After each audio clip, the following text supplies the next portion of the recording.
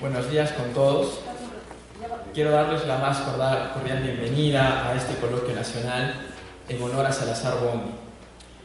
Durante estos dos días del evento nos van a acompañar una destacada selección de expertos en diversas áreas que nos van a brindar sus conocimientos y perspectivas sobre la vida, la obra de Salazar Bondi, así también como su relevancia en nuestra sociedad. Este evento será una oportunidad para aprender y reflexionar sobre el legado de este gran intelectual peruano. Además, las sesiones serán enriquecidas con participación del público, donde van a poder tanto de manera presencial como de manera virtual poder resolver algunas dudas. Durante estas sesiones vamos a abordar temas tan importantes como la filosofía, la educación y la identidad peruana. Nuestros ponentes nos van a brindar una visión integral de la figura de Salazar Bondi y su influencia en estas áreas. No hay que olvidar que a pesar de los desafíos que enfrentamos en el mundo actual, es crucial seguir fomentando el diálogo y la reflexión crítica. Este coloquio nos va a brindar un espacio que es propicio. Así que aprovechemos al máximo esta oportunidad de intercambio de ideas y conocimiento. Esperamos que participen activamente y puedan compartir también sus perspectivas con nuestros ponentes y el resto de la audiencia. Antes de comenzar, les pido por favor que mantengan sus celulares en silencio para evitar las interrupciones.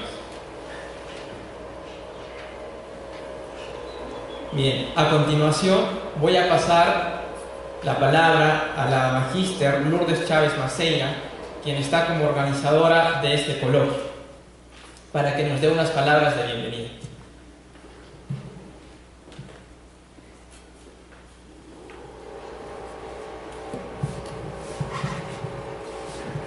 Muy buenos días con todos.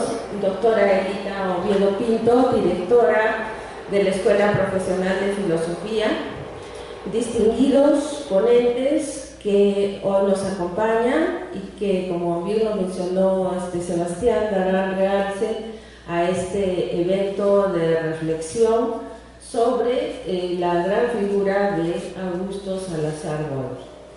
Eh, me refiero, en primer lugar, y digamos, respetando la jerarquía, al presidente de la Sociedad Peruana de Filosofía, el doctor Rubén Quirós, al doctor Zenón de Paz Toledo, al doctor Miguel eh, Polo Santillán, todavía no se encuentra entre nosotros por algún motivo la doctora Teresa Reta de Guzmán, todos eh, pensadores muy destacados, digo pensadores porque también tienen su, posición muy clara sobre el hombre y el mundo.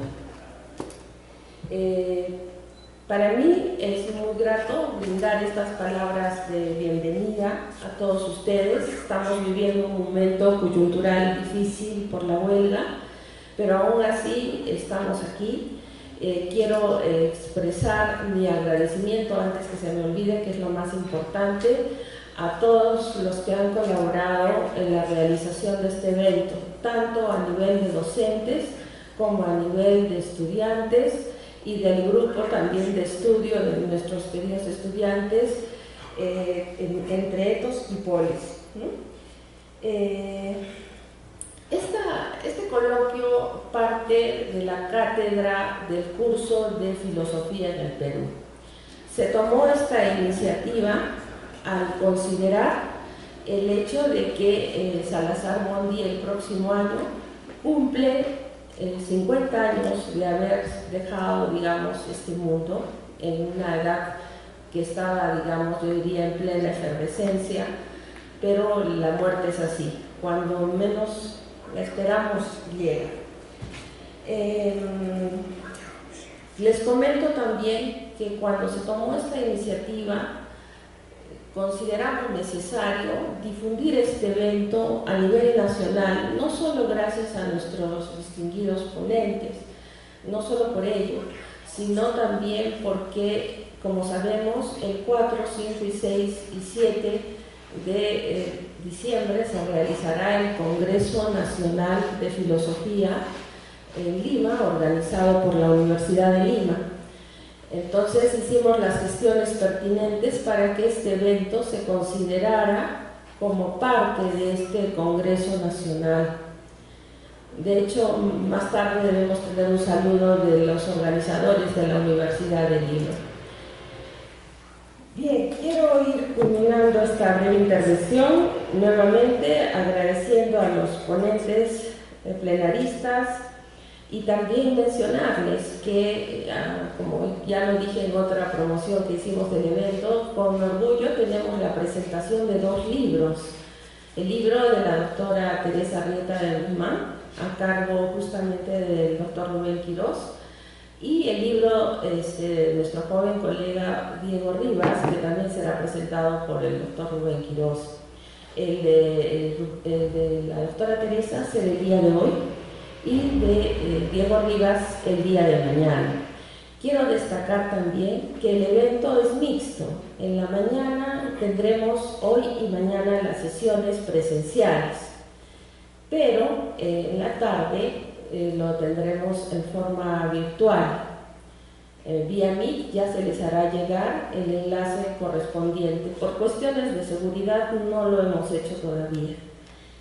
Em, bien, no quiero abusar de su tiempo, gracias por su asistencia y participación, pero me estaba olvidando de algo muy importante. Entre nosotros se encuentra nuestro querido profesor, el doctor Oscar Barrera, que nos honra con su presencia y que sé que es muy amigo de los presentes aquí. Pido un aplauso para él. Sin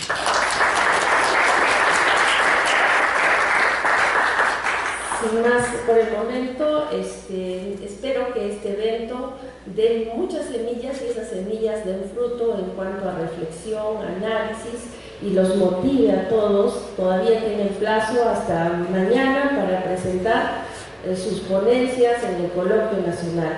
La voz de Arequipa siempre tiene que estar presente en este tipo de eventos.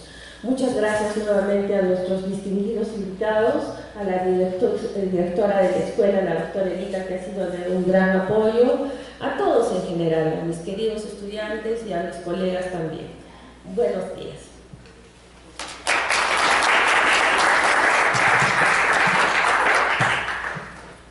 A continuación vamos a tener una presentación artística ya a cargo de la estudiante de filosofía eh, Carla Segarra, quien eh, está acompañada por Marco Antonio Flores y nos van a presentar dos bonitos temas.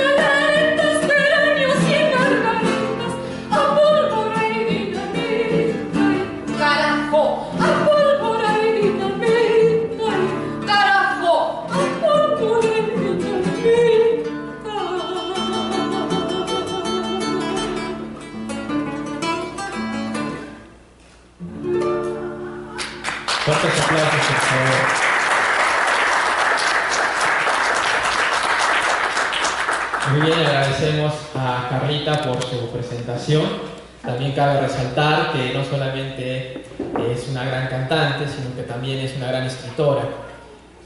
También es una destacada estudiante de nuestra Escuela de Filosofía. Así que de nuevo fuertes aplausos por favor para ella.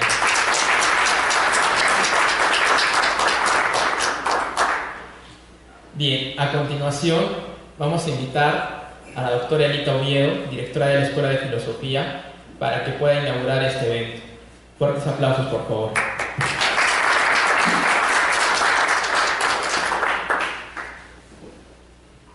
Bueno, muchas gracias, Sebastián.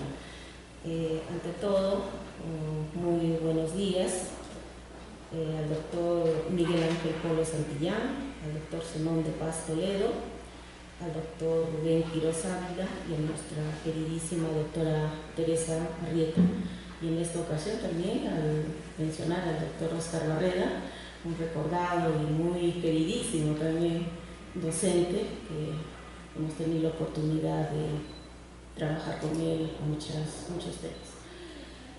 Eh, también un saludo para los señores docentes del Departamento Académico de Filosofía, para nuestros queridos alumnos y para todo el público asistente.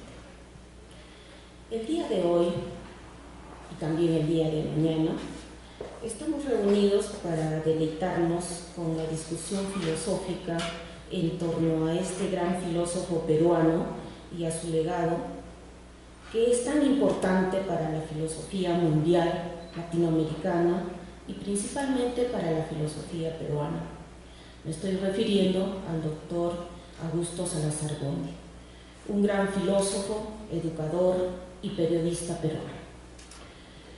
Considerado como uno de los pensadores más notables del Perú contemporáneo, debido a que se dedicó al análisis y discusión de la realidad peruana lo cual se ve reflejado en sus obras más destacadas, que llevan como títulos que muchos de nosotros recordamos en las aulas, La filosofía en el Perú, panorama histórico, las tendencias filosóficas en el Perú, ¿qué es filosofía? La cultura de la dominación en Perú, entre Sila y Caritis, reflexiones sobre la vida peruana, eh, que justamente a partir de estas obras se han generado nuevas discusiones, como las que escucharemos en este coloquio con, con tan destacados representantes de la filosofía peruana. Dicho sea de paso, los mencioné al inicio ¿no? y los tenemos aquí presentes. Es importante recalcar que este coloquio se está realizando como antesala del 19 Congreso Nacional de Filosofía, nuestros famosos CONAFIL, que nosotros, eh, la Universidad San Agustín, tuvo la oportunidad de organizar en el año 2021. Entonces, este año eh, nuevamente vamos a participar con la Universidad de Lima. Eh, este, este CONAFIL, este congreso, como ya muchos lo sabemos, tendrá como título Crisis, Cultura de Paz y Desarrollo Sostenible. Se dan cuenta, un título bastante interesante y de actualidad. Eh, los congresos nacionales de filosofía son considerados espacios de intercambio y colaboración académica entre la comunidad filosófica peruana. Y todos ellos que reconocen la importancia de la fundamentación filosófica en las diversas disciplinas del saber, que son bastantes y este, muy conocidas dentro de las ramas de la vida. Como todo congreso fomentará el diálogo entre los diversos enfoques filosóficos, la reflexión sobre la situación de la filosofía en el Perú la presentación de las últimas investigaciones filosóficas, el intercambio de experiencias y estrategias de enseñanza de la filosofía y permitirá proponer nuevas formas de comprensión de la realidad humana. En este contexto, reflexionar en torno a la producción de Augusto Salazar Bondi resulta muy pertinente, sobre todo por la conocida trayectoria y calidad académica que cada uno de nuestros invitados que nos acompañan en estos dos días de calor filosófico. Es por ello que agradecemos a nuestros ponentes aquí presentes, quienes son referentes para las nuevas generaciones, especialmente a nuestros jóvenes docentes y alumnos que también harán sus presentaciones por las tardes en estos dos días. Bueno, sin más preámbulo, damos por inaugurado este evento y nuevamente muy agradecidos por regalarnos, regalarnos un poquito de su valioso tiempo. Muchas gracias.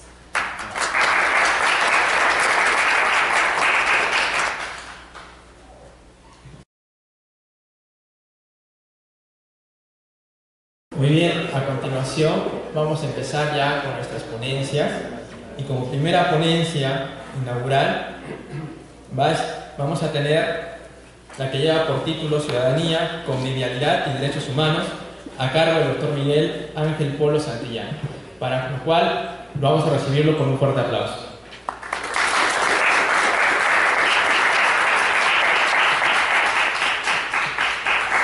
Bien, buenos días con todos, bienvenidos a este evento. Como ponencia de apertura tenemos la ponencia presentada por el doctor Miguel Ángel Polo Santillán.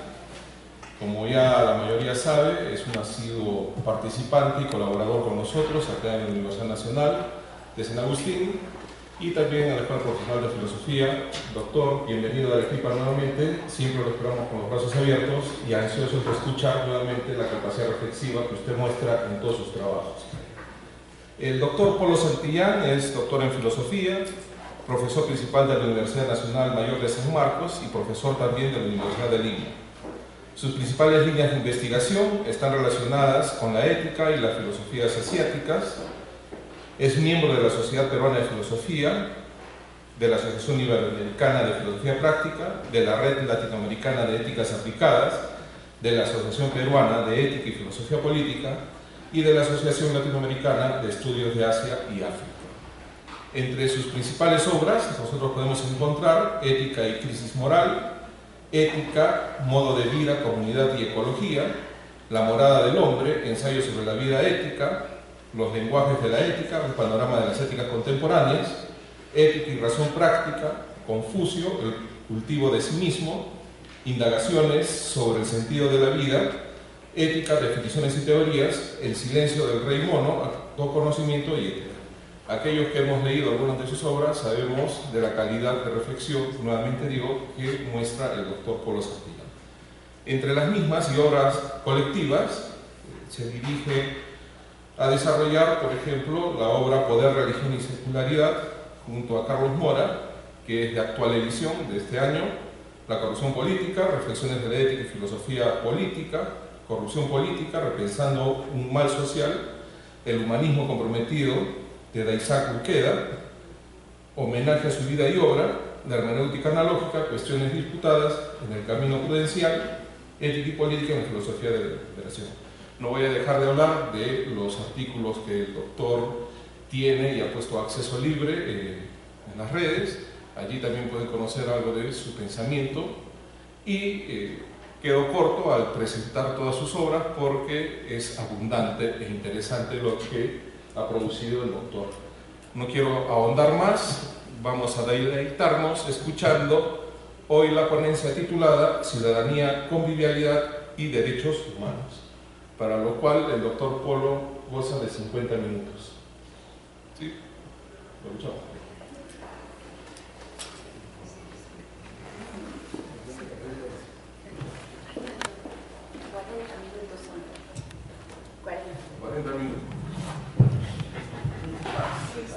Muy buenos días, estimados amigos.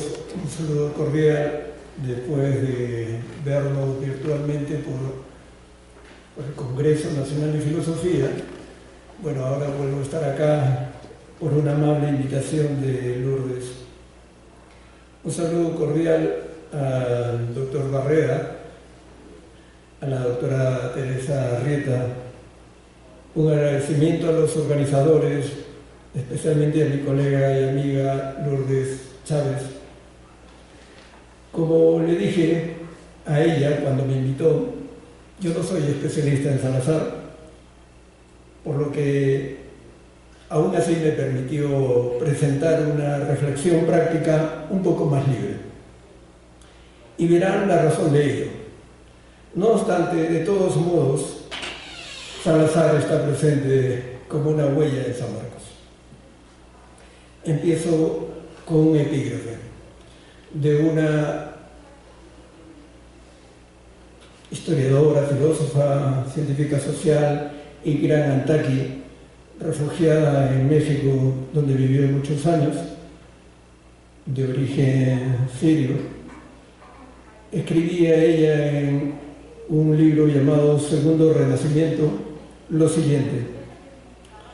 Los derechos humanos se manifiestan a nuestra conciencia hoy como el derecho del otro y el deber de nuestra fraternidad con Él.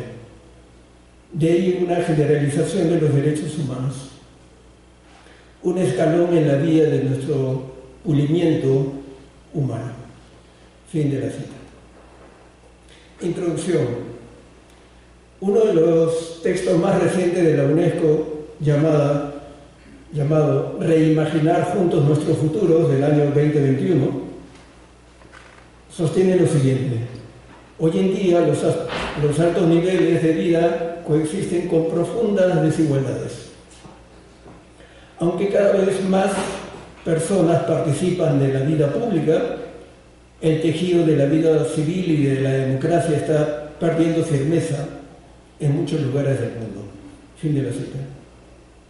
Y claro, nosotros podemos ver discursos populistas, menor participación efectiva de los ciudadanos, mayor crispación de los extremismos, corrupción de las instituciones públicas, no permiten tratar significativamente las desigualdades dentro de un país. En lo que sigue haré tres reflexiones. La primera será sobre los derechos humanos mismos y su relación con los deberes y las cosmovisiones. La segunda sobre la idea de ciudadanía y del ciudadano. Y la tercera sobre los fundamentalismos como un impedimento a la realización de los derechos. Y finalmente algunas conclusiones. Antes de empezar, Permítame una referencia breve en memoria del ilustre samarquino Augusto Salazar, donde que día nos congrega. Como sabemos, su amplio y humanístico interés también se preocupó por la educación del ciudadano en su etapa escolar. El año del golpe militar editaba, unos meses antes, su libro Educación Cívica en mayo de 1968 para el quinto año de secundaria. En esta obra sostenía, en el prólogo, cito, una verdadera formación cívica supone, por consiguiente, no solo la transmisión de las normas establecidas y sancionadas por la práctica social, sino también el fortalecimiento de la originalidad y la libertad individuales y la toma de conciencia del papel de cada ciudadano de cada integrante del cuerpo social, como motor de la renovación y del progreso del grupo y de la comunidad humana en general. Fin de la cita. Y la primera lección se titula Los deberes y los derechos del hombre. Clasifica los deberes como morales, cívicos y legales. Solo luego habla de los derechos específicamente los derechos humanos. Eso contrasta con la obra escolar, desarrollo personal, ciudadanía y cívica que hoy día se usa en quinto grado, donde la palabra deberes no figura al inicio, apenas aparece seis veces de forma genérica. Cabe señalar que la obra de Salazar está dividida en cinco partes. El ser humano y la democracia, la comunidad familiar, la comunidad local, la comunidad nacional y la comunidad internacional. Lo señalo porque él pone énfasis en la comunidad, como ustedes se percatan, no en los derechos del individuo solamente. Eso nos da a entender que ese enfoque no era solo liberal en el sentido tradicional, ni tampoco obviamente comunista. Así Salazar no solo nos dejó obras académicas, de, de renombrado nivel, sino también líneas de investigación de problemas que todavía permanecen, pero que se ha hecho más acuciante darles respuesta. Quizá el nuevo escenario sea el de los riesgos globales, llamado así por Ulrich Beck en el año 1998, que pone en peligro la vida humana y de millones de seres vivos. Considero que ese debiera ser el escenario de nuestras preocupaciones actuales, si queremos ser fieles a los tiempos, y no intereses egoístas o grupales. Y fue Juan Aguataz quien recogió ese legado salazariano, como dice mi colega Zenón de Paz, quizá el discípulo más importante de Salazar. en su obra Indagaciones filosóficas sobre nuestro futuro, del año 2005. Por mi parte, permítame presentarle algunas reflexiones. Por el tiempo voy a dejar algunas partes y me concentraré en lo que he señalado. Deberes, derechos y cosmovisiones. Quiero empezar la reflexión sobre los derechos humanos en referencia a los deberes. Y me serviré de un texto tradicional y sagrado que guía la vida de millones de hindúes en el mundo, la Bhagavad Gita, traducido como el canto del Señor, quizá escrita entre el siglo II a.C. y el siglo II después de Cristo. Se pueden hacer diferentes lecturas de esta gran obra, pero solo me interesa resaltar el sentido en el que aparecen los deberes. El guerrero Arjuna se niega a pelear en el campo de batalla, pues ha visto a sus familiares y amistades en las filas enemigas, y el dios Krishna lo anima a pelear, entre otras cosas porque debe realizar su deber de la casta guerrera a la cual pertenece. Estos deberes se encuentran dentro de una cosmovisión que en la India se llama Dharma, que enlaza lo metafísico, lo religioso y lo ético, dando así sentido al deber de Arjuna y lo anima a pelear. Esto ha sido característico de las tradiciones premodernas. En ellas no aparece, como he sabido, el valor de los derechos de los individuos en tanto tales, sino en tanto envueltos en un orden previo. La tradición moderna europea pone la centralidad del individuo y sus derechos herencia que recogió el espíritu también de los derechos humanos del 48. Por eso las culturas han criticado e intentado replantear, tratando de hablar de los derechos humanos desde sus propias tradiciones, en el mejor de los casos. La modernidad quiso establecer derechos universales sin ninguna cosmovisión, sin ningún marco que les diera sentido, salvo los propios individuos. Podemos recordar a Locke y la tradición liberal de los derechos individuales, universales, abstractos, sin fundamento alguno, o el planteamiento kantiano de deberes generado por la propia razón autónoma, sin ningún fundamento antropológico cosmológico. Considero que eso es lo que requiere volver a pensar. ¿Hasta qué punto los derechos, derechos humanos pueden existir sin ningún fundamento o cosmovisión que la sustente? sin ningún marco normativo que les dé sentido. Entender simplemente derechos o deberes abstractos que tienen los individuos no permite o dificulta su realización. Si bien es cierto que existen diversas generaciones de derechos, de modos de vida, el, modo de vida moderno la concibe y la vive básicamente como derecho del individuo hasta, hasta, hasta nuestros días después de todo de su matriz. Y es lo que en primera instancia defienden los estados modernos, los derechos del individuo. Y no así tanto derechos colectivos que hoy día vienen siendo dejados de lado y menos de los derechos de la tierra. Lo cierto es que esta idea de individuos con derechos y deberes abstractos encerraba una cosmovisión y una antropología reducida a unidades, individuos, cuyas conexiones o realizaciones solo son atributos que no afectan la naturaleza de cada unidad. Y lo que define al individuo humano es su pensamiento, su conciencia racional, y solo desde ella es llamada a autodeterminarse.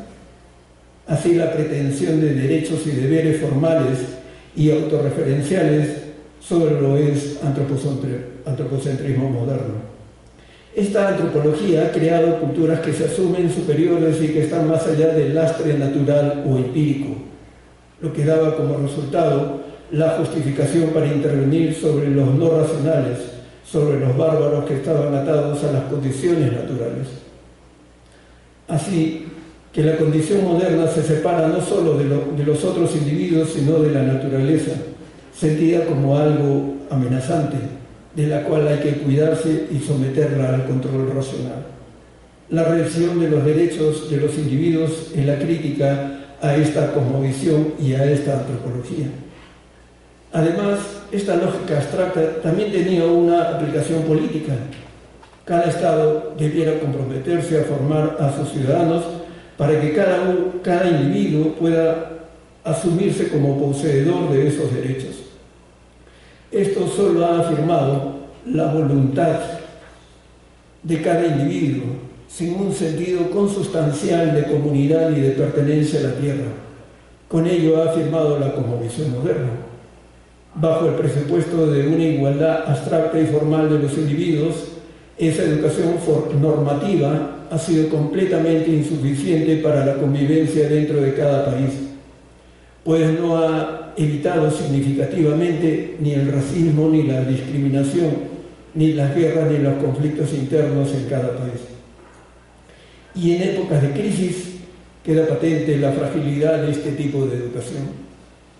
A esta afirmación de los derechos de los individuos le es difícil dar el paso hacia el reconocimiento del valor de los otros, así como sus respectivos derechos.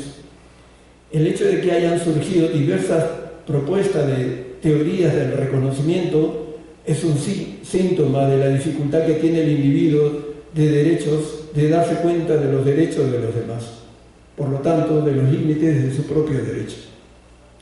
Y así, curiosamente, se vuelve a la visión premoderna de derechos como privilegios de algunos.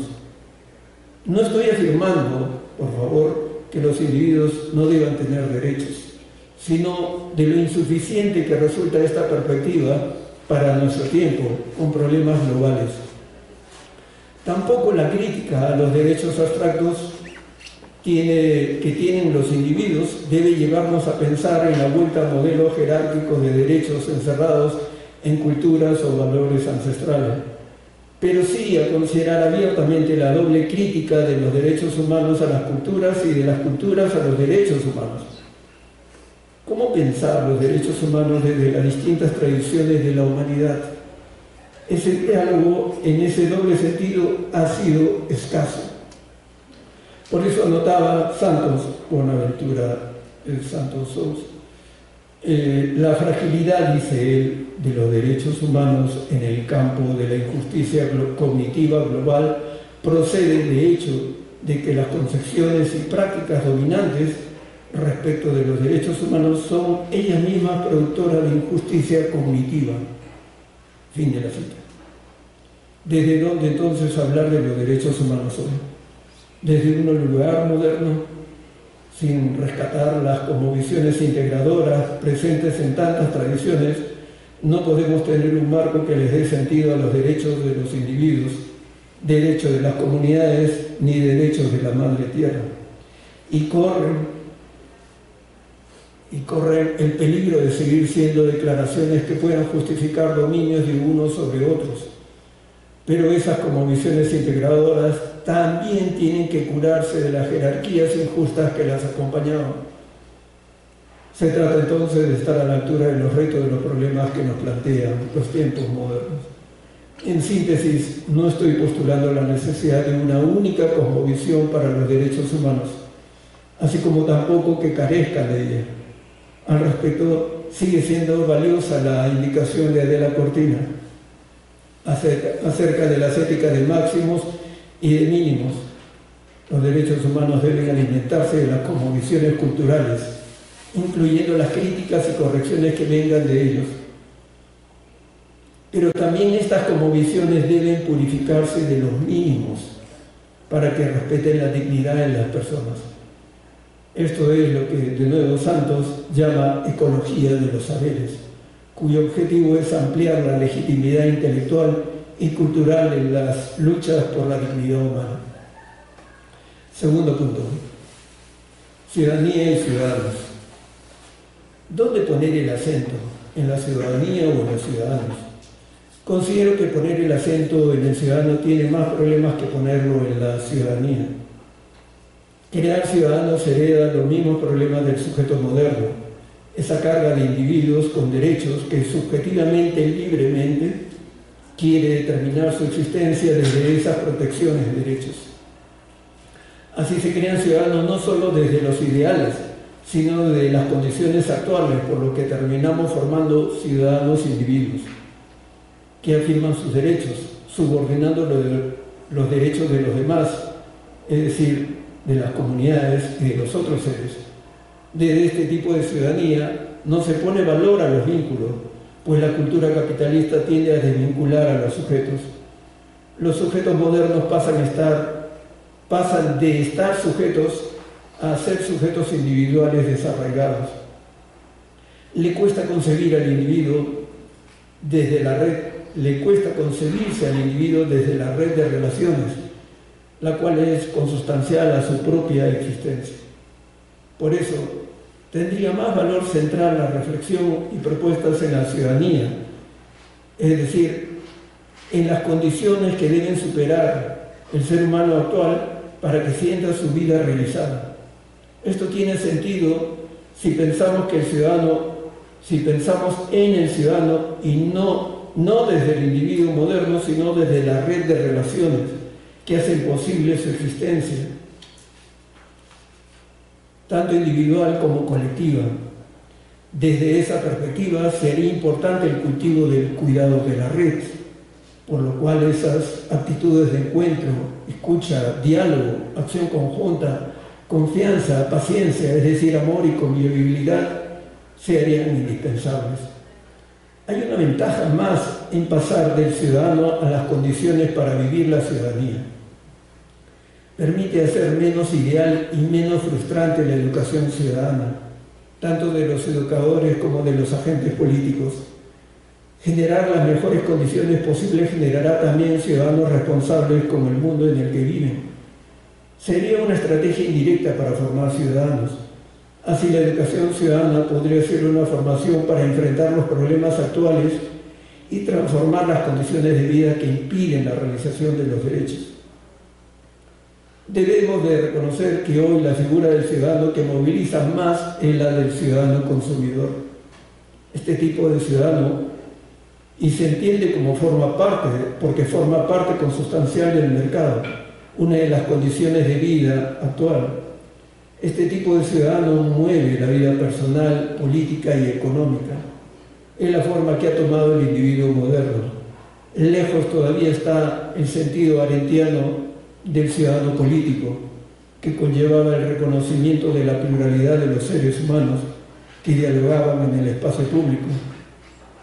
Los espacios públicos, como sabemos, hoy son los grandes centros comerciales, donde la principal actividad es solo consumir. En resumen, no se trata de borrar la idea del ciudadano, sino que no debiera ser el eje de la preocupación de la ciudadanía. Lo que debe contar son las condiciones que la generan, las condiciones socioculturales que permitan el ejercicio de la ciudadanía, para no caer en discursos vacíos que terminan, eh, que en términos materiales chocan con la realidad.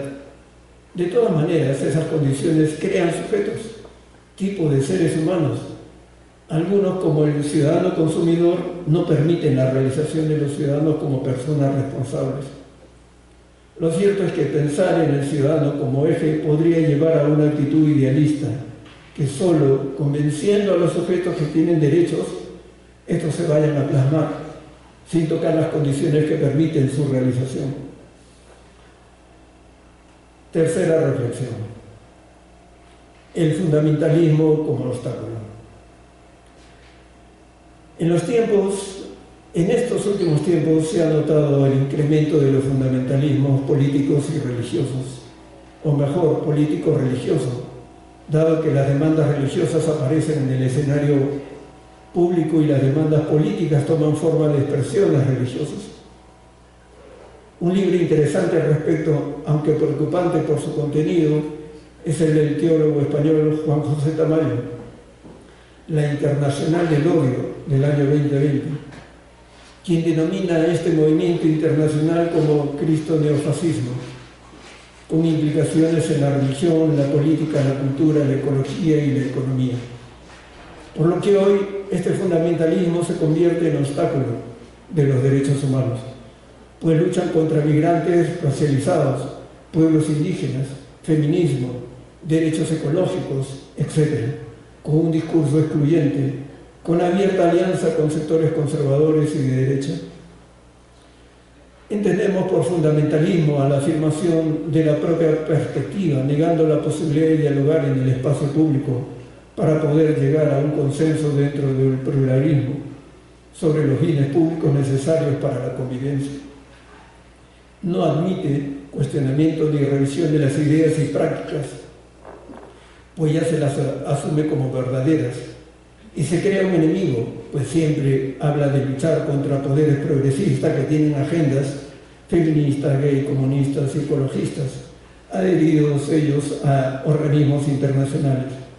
Este fundamentalismo es el reflejo del fundamentalismo islámico que lucha contra Occidente y su cultura cristiana.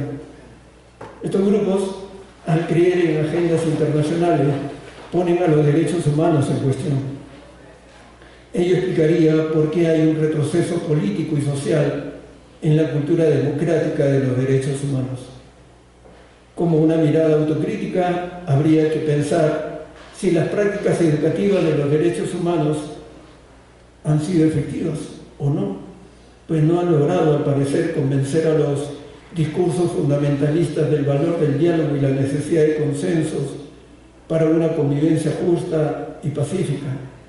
Por eso, ¿cómo reorganizar las instituciones internacionales para replantear los derechos humanos en las culturas contemporáneas? El fundamentalismo, siendo una expresión religiosa, encuentra su aliado hoy día en los nacionalismos o populismo, que anhelan rescatar nación, etnia, valores. Y esto también se da en el escenario donde el Estado-nación moderno es cuestionado, por lo que los sujetos no logran tener una identidad nacional, sino vuelven a afirmar sus identidades religiosas o étnicas idealizadas. Así el fundamentalismo es el síntoma de que algo no está marchando bien las instituciones y los valores modernos, claro está, en sus expresiones actuales. El fundamentalismo cuestiona a la ciudadanía, pues utiliza la política para imponer sus agendas, para usar el mismo término que usa, sin mediación del debate público alguno.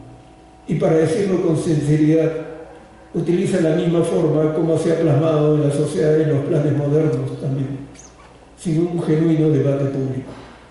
Así, en ambos casos, los espacios públicos, donde los sujetos diferentes se encuentran para deliberar y llegar a consensos, no ha existido. Decirles a las personas que todos tienen los mismos derechos no es suficiente, especialmente cuando las condiciones materiales de vida le están diciendo lo contrario.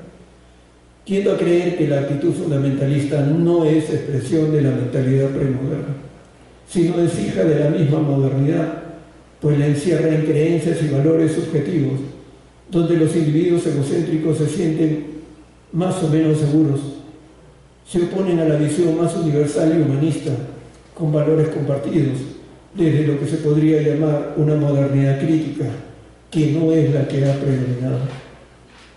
Quizá en parte la vuelta al fundamentalismo se deba a que muchas personas ven un mundo en crisis donde solo el que tiene poder político o militar pone las reglas de juego, donde los valores individualistas llevan a la corrupción, al cinismo y al sinsentido, cuestionando la vida comunitaria. El fundamentalismo es un síntoma, no es la causa de la enfermedad. Volviendo al fundamentalismo religioso, una de sus grandes críticas ha sido al secularismo moderno, proceso que nunca ha sido similar en todas las naciones modernas y contemporáneas. Hoy se habla en ámbitos europeos de postsecularismo como una vuelta a la religión en el dominio público.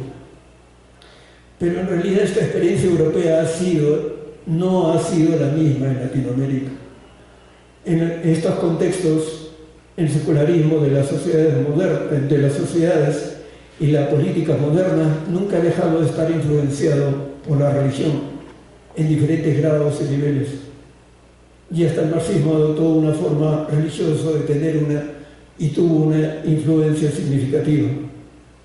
Decíamos que el fundamentalismo no ve en el secularismo una salida, a pesar de su forma latinoamericana. No ve eh, al secularismo un valor significativo para encontrar normas de convivencia comunes para repensar en el conjunto de los bienes indispensables para la convivencia social. Prefieren hoy presión y captura del poder para imponer sus propios programas, lo mismo que criticaban a los organismos internacionales. ¿Qué tipo de ciudadano crea el fundamentalismo religioso? Más aún, genera ciudadanía. Mientras una de las figuras frecuentes generadas por la modernidad ha sido el individuo atómico, sin responsabilidad social, el fundamentalismo genera sujetos comprometidos con sus comunidades, con los mismos como yo, pero no como abierto al diferente, al otro. Estas concepciones sustantivas de vida que contienen creencias y valores dan sentido a la existencia de sus miembros de ese modo, el espacio dejado por la modernidad es ocupado por el fundamentalismo. Pero su déficit ético es el reconocimiento del otro. Por eso Santos afirma, la lucha por una política de derechos humanos contrahegemónica debe empezar por ese reconocimiento, el reconocimiento del otro. No obstante, el fin de la cita, no obstante este tipo de sujetos fundamentalistas no valora el diálogo ni hace uso de, su razón pública, por lo que no aprecia los consensos necesarios para vivir en sociedades plurales. No reconoce al otro como otro, sino que lo ve como una amenaza a sus propias convicciones, a su propio ser. Predica la verdad, impone su visión del mundo e imposibilita la convivencia basada en principios universales mínimos, por lo que es una ética cerrada, que rechaza todo marco moral para distinguir entre estos dos términos. Resulta siendo contraproducente para su propia convivencia en el mundo actual, pues esta requiere aceptar mínimos de respeto mutuo para existir. Así, es ético apostar por el fundamentalismo. Si el fundamentalismo es la defensa cerrada de unos valores asumidos como auténticos, sin pasar por el diálogo crítico en el espacio público plural, optar por no reconocer el valor del pluralismo, sino solo por el valor de la propia tradición, entonces su alcance ético no solo busca proteger a sus miembros, sino los predispone a luchar contra el otro, calificándolo de muchos modos que ya hemos escuchado a lo largo de estos años. Predisposición que tienen a tomar formas violentas contra los derechos de los demás. ¿Qué podría lograr el fundamentalismo? Supongamos, de tener éxito, podría tener dos caminos. Uno, promover sociedades pluralistas pero cerradas, guetos donde cada grupo velaría por sus propios miembros. No obstante, esto necesitaría un marco de respeto mutuo, por lo que al hacerlo ya supondría aceptar valores más allá de los propios, más allá de la tradición. Y de ese modo habría una inconsistencia. Habría que darse cuenta que los valores particulares requieren de, valores universales mínimos y estos también de los primeros. Un mínimo de universalismo se hace necesario para seguir un modo particular de vida. Otra de las posibilidades de triunfar el fundamentalismo sería en alianza con alguna forma nacionalista o populista que se imponga violentamente a, las demás tradiciones, por lo tanto que tenga que hacer uso de la violencia estatal a través de leyes que anulen derechos de los individuos logrados. Esta versión está en curso y vemos que es también inmoral. Por ejemplo, asumir estatalmente que las personas no necesitan educación sexual para su formación personal, para lo cual, pero esto implicaría imposición, subsecuentes problemas y retrocesos en políticas públicas. Pero hay otro fundamentalismo en marcha, y con esto voy terminando los temas. Hoy prevalece la imposición de la tecnociencia de políticas económicas y de valores que no pasan por discusiones ni acuerdos previos tampoco. Por eso podríamos hablar de un fundamentalismo tecnocrático que diseña la vida de las sociedades al punto de controlar la vida personal y colectiva. Es lo que la tradición filosófica ha llamado la razón instrumental. Estamos en pleno ejercicio de la razón instrumental. ¿Qué tipo de ciudadano está generando esta biopolítica tecnológica, especialmente plasmado en el control digital y las redes sociales? En primer lugar, hagamos referencia al aspecto cognitivo, al desarrollo del tecnocapitalismo. Esto está formando ciudadanos con poca capacidad reflexiva, donde la argumentación tiende a desaparecer y se utilizan las ideas que tienen más impactos en las redes, las que son tendencias o más virales. Además, no permite cultivar y no permite cultivar la escucha atenta del otro, analizar sus argumentos, comprenderlo, sino solo trivializarlo. De eso nos podemos fijar muy bien en las redes. La inmediatez, la prontitud para encontrar la solución a los problemas, que al no encontrarlo nos vuelve a encerrar en la inmediatez de los justos y disgustos, el like o no. Los problemas que tenemos necesitan tiempo y consenso, encuentro con el diferente y deliberación para resolver problemas. En segundo lugar, el aspecto antropoético resulta igual de preocupante. La tecnología reafirma al sujeto moderno como individuo y no como ser social o natural, no como ser que sienta pertenecer a la comunidad o a un territorio, sujeto encerrado en su propio castillo, él y sus redes, él y sus contactos, él y su mundo privado. Más aún, un individuo que por afirmarse desligado, se convierte en masa, perdiendo así su dignidad.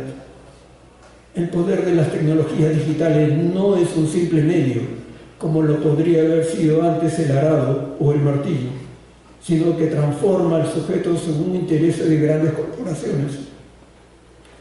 Como sostiene el profesor, el filósofo Jordi Pillén, en un reciente libro sobre el desarrollo de las redes, la tecnocracia dice, no ve en cada ser humano una finalidad en sí mismo, sino un simple medio para el funcionamiento eficiente del sistema tecnológico. Fin de la cita. De individuos dignos pasamos a ser sujetos de datos al servicio de los poderes políticos y del mercado tecnológico. Después de todo, como dice Harari, los animales y los seres humanos, tanto individual como colectivamente, solo contamos como algoritmos. ¿Dónde quedó la dignidad de cada persona? Desde esta perspectiva pasa a ser solo un sueño humanista.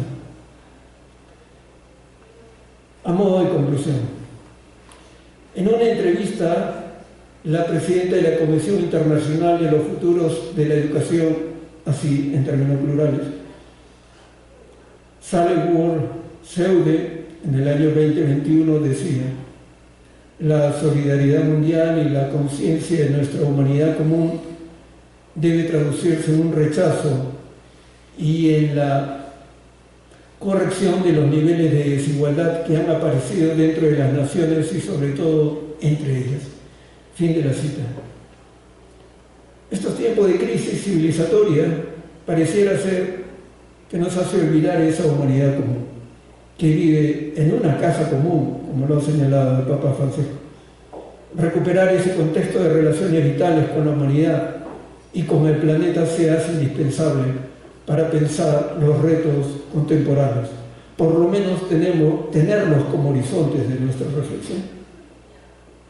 Ari nos había señalado la dificultad de armonizar la idea de ciudadano con la de, de derechos humanos, pues la primera, a pesar de sus transformaciones, se marca dentro de los límites del Estado, de un Estado-nación cuya meta es la defensa solo de sus ciudadanos, mientras que los derechos humanos tienen un carácter universal.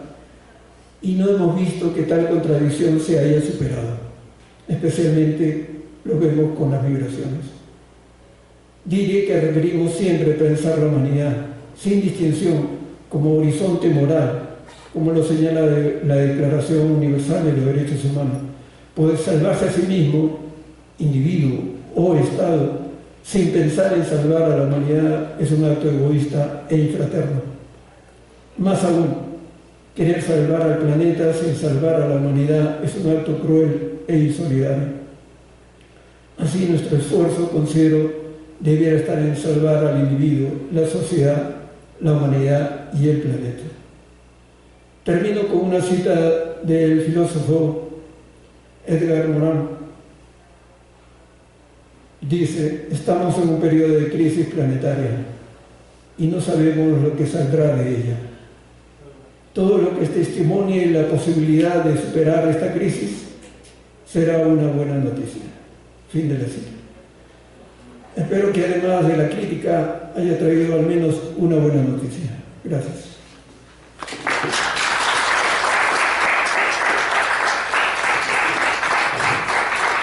Bien, agradecemos al doctor Polo.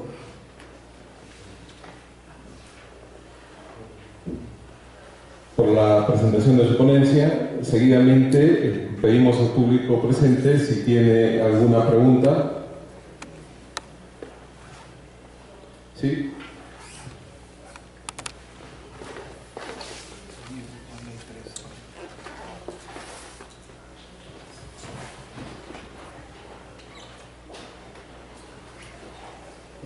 ¿Cómo está, doctor Muchas gracias por, por, la, por la, ponencia. Mi, mi, pregunta va apuntada justamente a este comentario que usted hizo sobre la importancia de este mínimo universal, digamos, ¿no? Una universalidad mínima, menos para esta posibilidad de diálogo. Este, hay una, voy a parafrasear primero a Wittgenstein, porque él tenía esta esta idea ¿no? de cuando se agotan los fundamentos, se llega a la ropa dura y Pala se retuerce. Me inclino a decir, simplemente actúo así, ¿no? O por otro lado, Stanley Cavell, este, lo que decía, ¿no? Este, cuando se llega a estos límites, cuando ya no hay estas sincronizaciones, eh, ya no puedo buscar un suelo por debajo de esto, ¿no? Y me llama la atención porque, bueno, la respuesta de ellos de ambos, pues según lo que, he podido entender, apunta más a otro tipo de diálogo, este, en el que uno, tal vez en la posición que está a nivel, digamos, de experiencia contextual, procura articular sus experiencias, pero no como ah, se hace cuando uno elabora proposiciones en función de la verdad, este, sino más bien de una manera sensible, digamos. Eh, retomando otra vez a Wittgenstein, como él dice, ¿no? más bien expresando reacciones en las que la gente se puede encontrar en uno.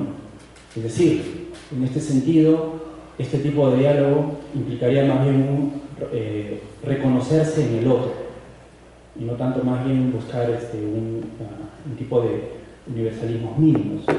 ¿Usted qué pensaría al respecto?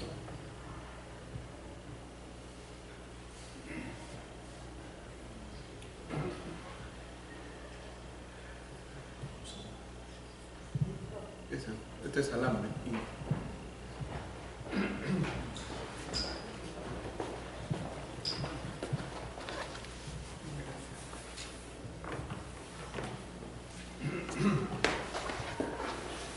Gracias por la pregunta.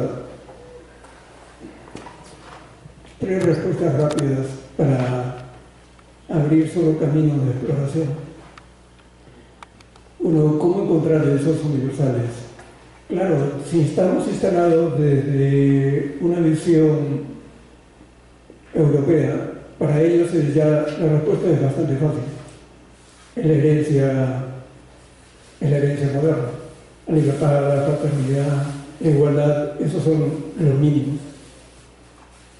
Pero si no estamos instalados desde ahí, ¿qué otros mínimos requeriríamos? Desde, de hecho, la tradición de la filosofía práctica en Latinoamérica ha ido pensando más. ¿no? El tema de la vulnerabilidad, por ejemplo, que tanto ha impactado también en temas de bioética, para no asumir principios puramente abstractos, bueno, se propone desde Latinoamérica la vulnerabilidad como un principio. Es decir, por un lado, tendríamos que ver si aquellos que recibimos como universales mínimos son los únicos universales mínimos. Ah. Y, ¿Y de dónde los vamos a ver? Pues de nuestros propios contextos. ¿no? Ah, eso es por un lado. Lo otro es en los medios o en los modos que hemos estado ubicando los universales. Y lo que es dicho es importante. Es una de las formas que hemos tratado de ubicar esos universales solamente ha sido a partir de el predominio de la razón, el predominio más aún a veces hasta de la razón filosófica. Eh, cuando ya la propia razón está siendo cuestionada, con lo cual no quiere decir que habrá que deshacernos de la razón, obviamente no, pero que no puede participar solo ella en la conformación en el encuentro de esos mínimos. Y por eso es que se abre toda la vertiente de rescatar en qué medida la sensibilidad, la empatía, como lo has hecho notar, también es una fuente de encuentro de esos mínimos, porque lo contrario, ¿qué me hago de nuevo, como lo que hablaba de la ciudadanía, qué me hago aprendiendo de, bueno, ideales de libertad, fraternidad, igualdad, igualdad, fraternidad, libertad, etcétera, etcétera, como valores puramente abstractos que solamente se identifican con un individuo abstracto. Mm. Entonces no reviso las propias prácticas que pueden permitir encontrar otro tipo de, de valores. Ahora, la empatía no es recurrir a un grado de sensibilidad demasiado subjetivo, arbitrario? Me parece que no. Me parece que no. Ah, y es que si consideramos que la empatía todavía es un elemento puramente arbitrario, subjetivo, todavía estamos en la dicotomía muy marcada occidental entre sujeto y objeto. Todo lo sensible, bueno, es subjetivo y por lo tanto no apreciable. Y lo que requerimos hoy es criterios objetivos. Si todavía estamos, si estamos, digamos, manejándonos por ese criterio, definitivamente la empatía no tiene lugar o va a tener un lugar puramente sensiblero, para decirlo en esos términos uh, vulgares. ¿no? Y no nos va a decir nada.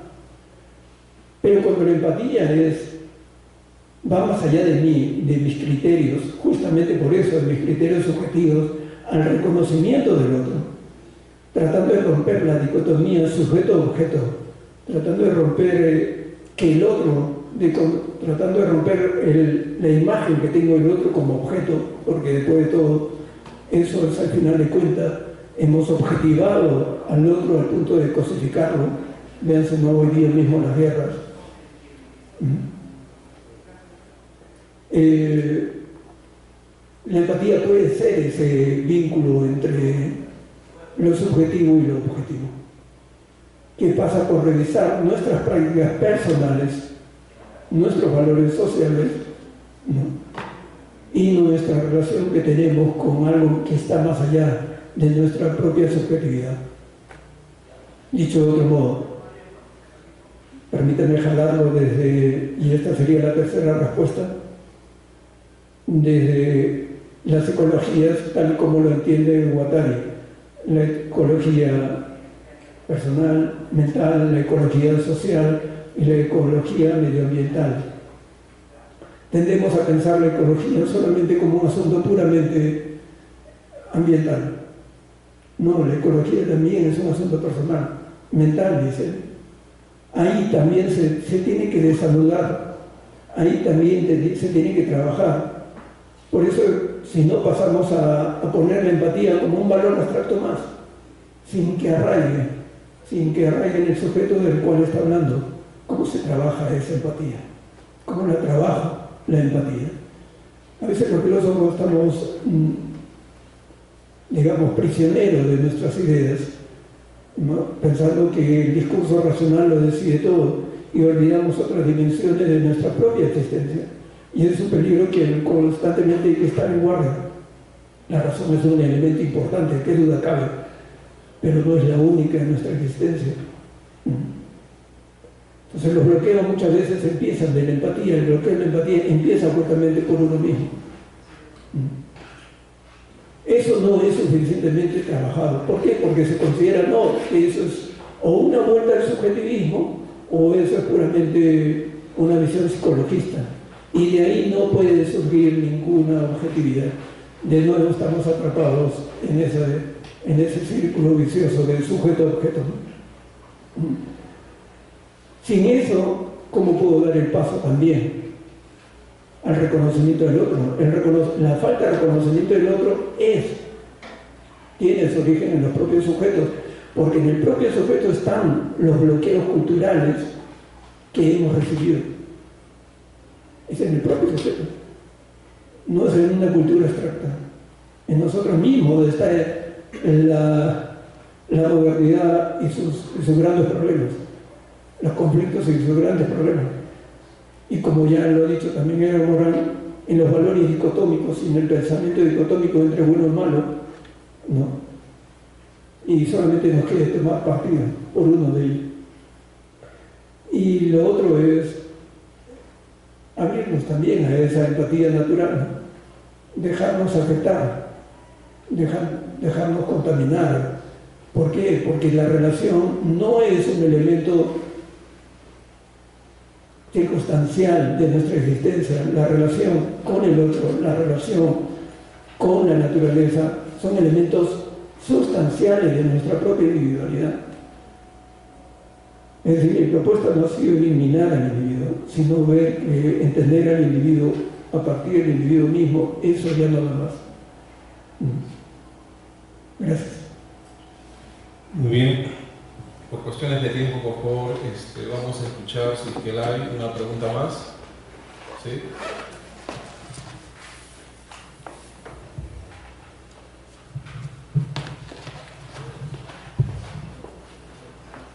Buenos días. Ah, yo tengo una pregunta que va con respecto, quiero llamar a la ética que estoy proponiendo una ética integradora. Con respecto a este, esta ética integradora, ¿qué papel juega la idea de bien o el mal que maneja una sociedad? ¿Sabes?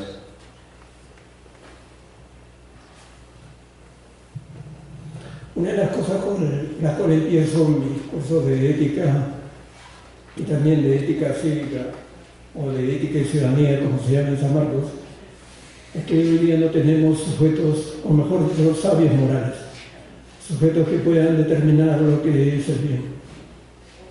Y por lo tanto, necesariamente tengo que encontrarme con el otro yo puedo tener mi propio criterio del bien, pero eso requiere el encuentro con el otro para saber si ese criterio del bien necesita un mínimo de corrección.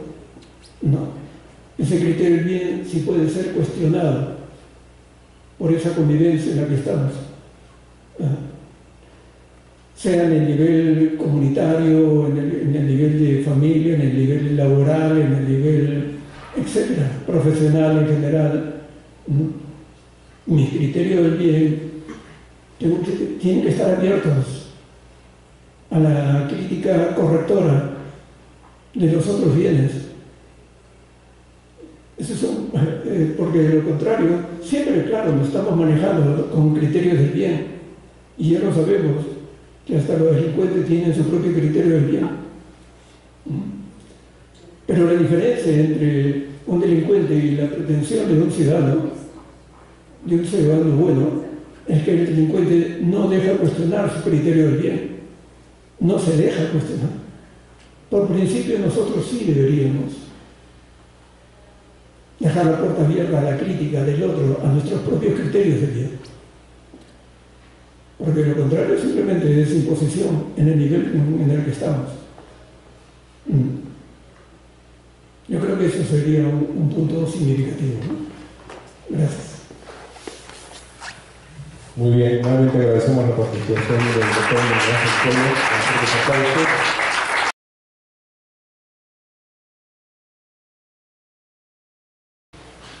Muy buenos días con todos y con todas. Eh, doctora Teresa Rieta, maestra. Doctor Oscar Barrera, maestro. Y la gratitud, por supuesto, a mi querida amiga Lourdes, tantos años, conocemos aquí en el equipo, además hace no voy a decir la fecha, pero vamos a suponer que son raíces ancestrales en amistad. Y por supuesto la doctora Edita que ha tenido la gentileza de recibirnos, y organizar esto junto con Lourdes y la comunidad arquipeña. Eh, efectivamente hace muchísimos años, yo creo que 25 años, que vine por primera vez a Arequipa, yo había empezado a San Marcos, nos vinimos un grupo de sanmarquinos en esa ruta en bus y cuando uno es joven sabe que las aventuras son parte de la formación y la educación sentimental y hemos venido unos 12 o 15 estudiantes sanmarquinos y escuché por primera vez ahí tanto a Oscar y a Teresa, o sea, directamente. Eh, estos estudiantes eh, de la UNSA habían organizado un evento que también se llama Precoloquio, porque nos ocurrió nosotros entusiastas, eh, siempre creyendo que el futuro existe por uno joven, y hicimos un congreso de en San Marcos. Estudiantes, por supuesto, lectores asidos de Nietzsche, de Dostoyevsky, y casi todos con corazón de poeta además. Nos encontramos aquí y nació la amistad y la admiración. La amistad, por supuesto, con estos colegas, ahora colegas míos, y la admiración al trabajo que habían hecho durante muchos años la comunidad arequipeña. Y con los años descubrí también a un gran poeta, un gran poeta eh, que yo diría que es uno de los mejores poetas eh, del siglo XX, que es Edgar Dumont lo que yo no sabía la relación entre Edgar y Teresa. Eh, yo lo había leído con mucha ciudad, lo había estudiado, eh, lo había ubicado. Eh, con los años y con el tiempo fui cultivando con Teresa no solamente la admiración, sino también la amistad. durante todo ese, ese, trecho de andar juntos, de alguna manera nos hemos encontrado en varios lugares del país a propósito. Y nosotros, eh, felizmente, hemos tenido el privilegio de poder acompañarle en algunas partes de su, de su impacto como pensadora nacional. Eh, hace unos un par de años, la Sociedad Peruana de Filosofía, eh, que justamente me honra la responsabilidad en estos momentos, creó un premio junto con la familia Nero Quesada, ¿no? eh, decidimos llamar el Premio Nacional de Filosofía Francisco Miro Quesada Cantuaria, que además la maestra conoció, y quien daba además el, discurso del premio era el hijo, ¿no? Francisco Miro Quesada Rara. Curiosamente su nieto Francisco Miro Quesada que se vino conmigo aquí que estudia filosofía en San Marcos querida amiga y hermana a propósito. Entonces, en el Consejo Directivo de la Sociedad de Filosofía, con todas las propuestas, con muchos grandes maestros, por supuesto, sus aportes fabulosos a la filosofía peruana, eh, se decidió unánimemente que el primer premio, junto con la familia de Quesada, este premio que además tiene el nombre de este gran filósofo, debería otorgarse a la doctora Teresa.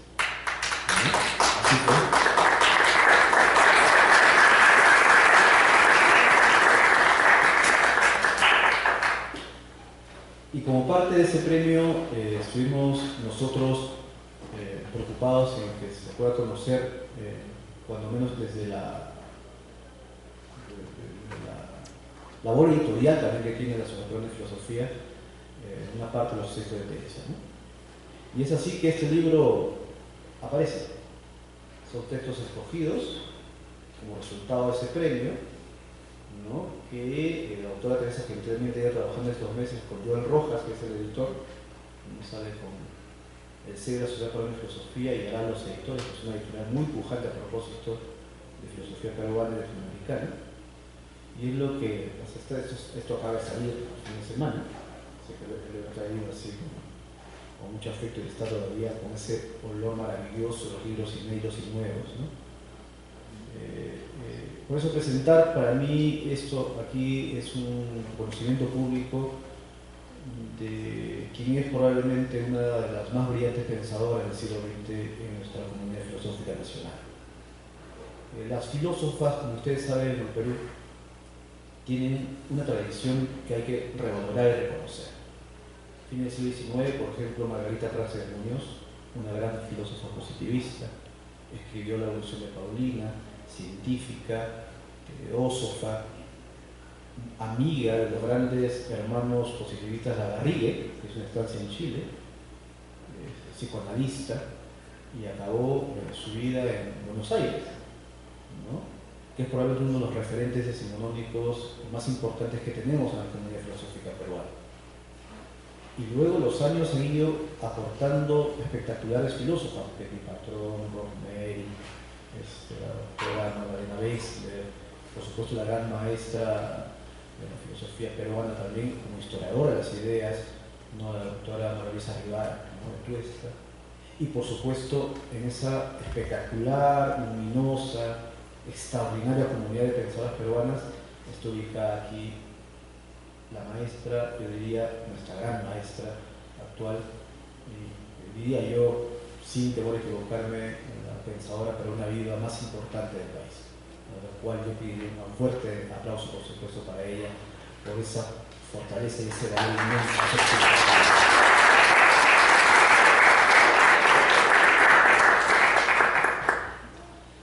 Eh, este texto, mi querida maestra, es una forma de gratitud, una ofrenda nuestra hacia usted de aquellos que lo veíamos cuando éramos jovencísimos, yo tantos jóvenes aquí, yo me acuerdo cuando se estaba así, la vi usted y la miraba. Y qué honor de verdad y qué maravillosa ocurrencia que Lourdes se ocurriera invitar. ¿no? Dijo, 20, 20, dije, encantado Lourdes, lo que quieras, tantos años batallando juntos. Y acompañó a dos grandes sanmartinos como son Miguel ¿no? que fueron mis profesores y grandes maestros a propósito. Y, a Oscar, que lo veo, lo veo hace, muchísimos años, lo, he visto, he conversado con él muchas veces. Y por supuesto esta sesión matinal tan hermosa, mediodía casi en Arequipeño, en, Arequipa, este sol arequipeño. Ayer vi a propósito una luna, una luna esplendorosa Arequipa, maravillosa. Ahí nuestro fotógrafo no me estaba intentando captar la esencia de la luna. hay una foto espléndida, muy hermosa a propósito. Y quiero decir que esta mañana en público que la Asociación de Filosofía tiene contigo unas grandes y maravillosas personalidades, así como la primera fundadora de la Asociación de Filosofía que se llama Mercedes Gallagher de Parks, una gran pensadora, filósofa sobre el arte, a seguir esa senda de aquellos que integran la sociedad, pero principalmente ese magisterio seguro constante, de ese activismo vital, ¿no? para hacer siempre tu presencia en diversos niveles, esas asesorías que haces, ¿no? esa constancia, diría yo, y que es un valor inmenso, porque hacer filosofía en el Perú, como todos los que estamos aquí, sabemos que es uno de los más grandes desafíos vitales que tenemos.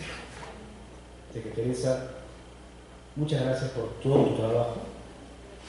Me atrevo a decirte Teresa ya Muchas gracias por ese aporte que has hecho a la comunidad filosófica nacional y en el más fondo de mi corazón nuestro te doy el mejor de los homenajes que es, creo, eh, una de las cosas que uno quisiera decir a un maestro. Eso. Muchas gracias por todo lo que has aportado a la filosofía del Perú. Muchísimas gracias.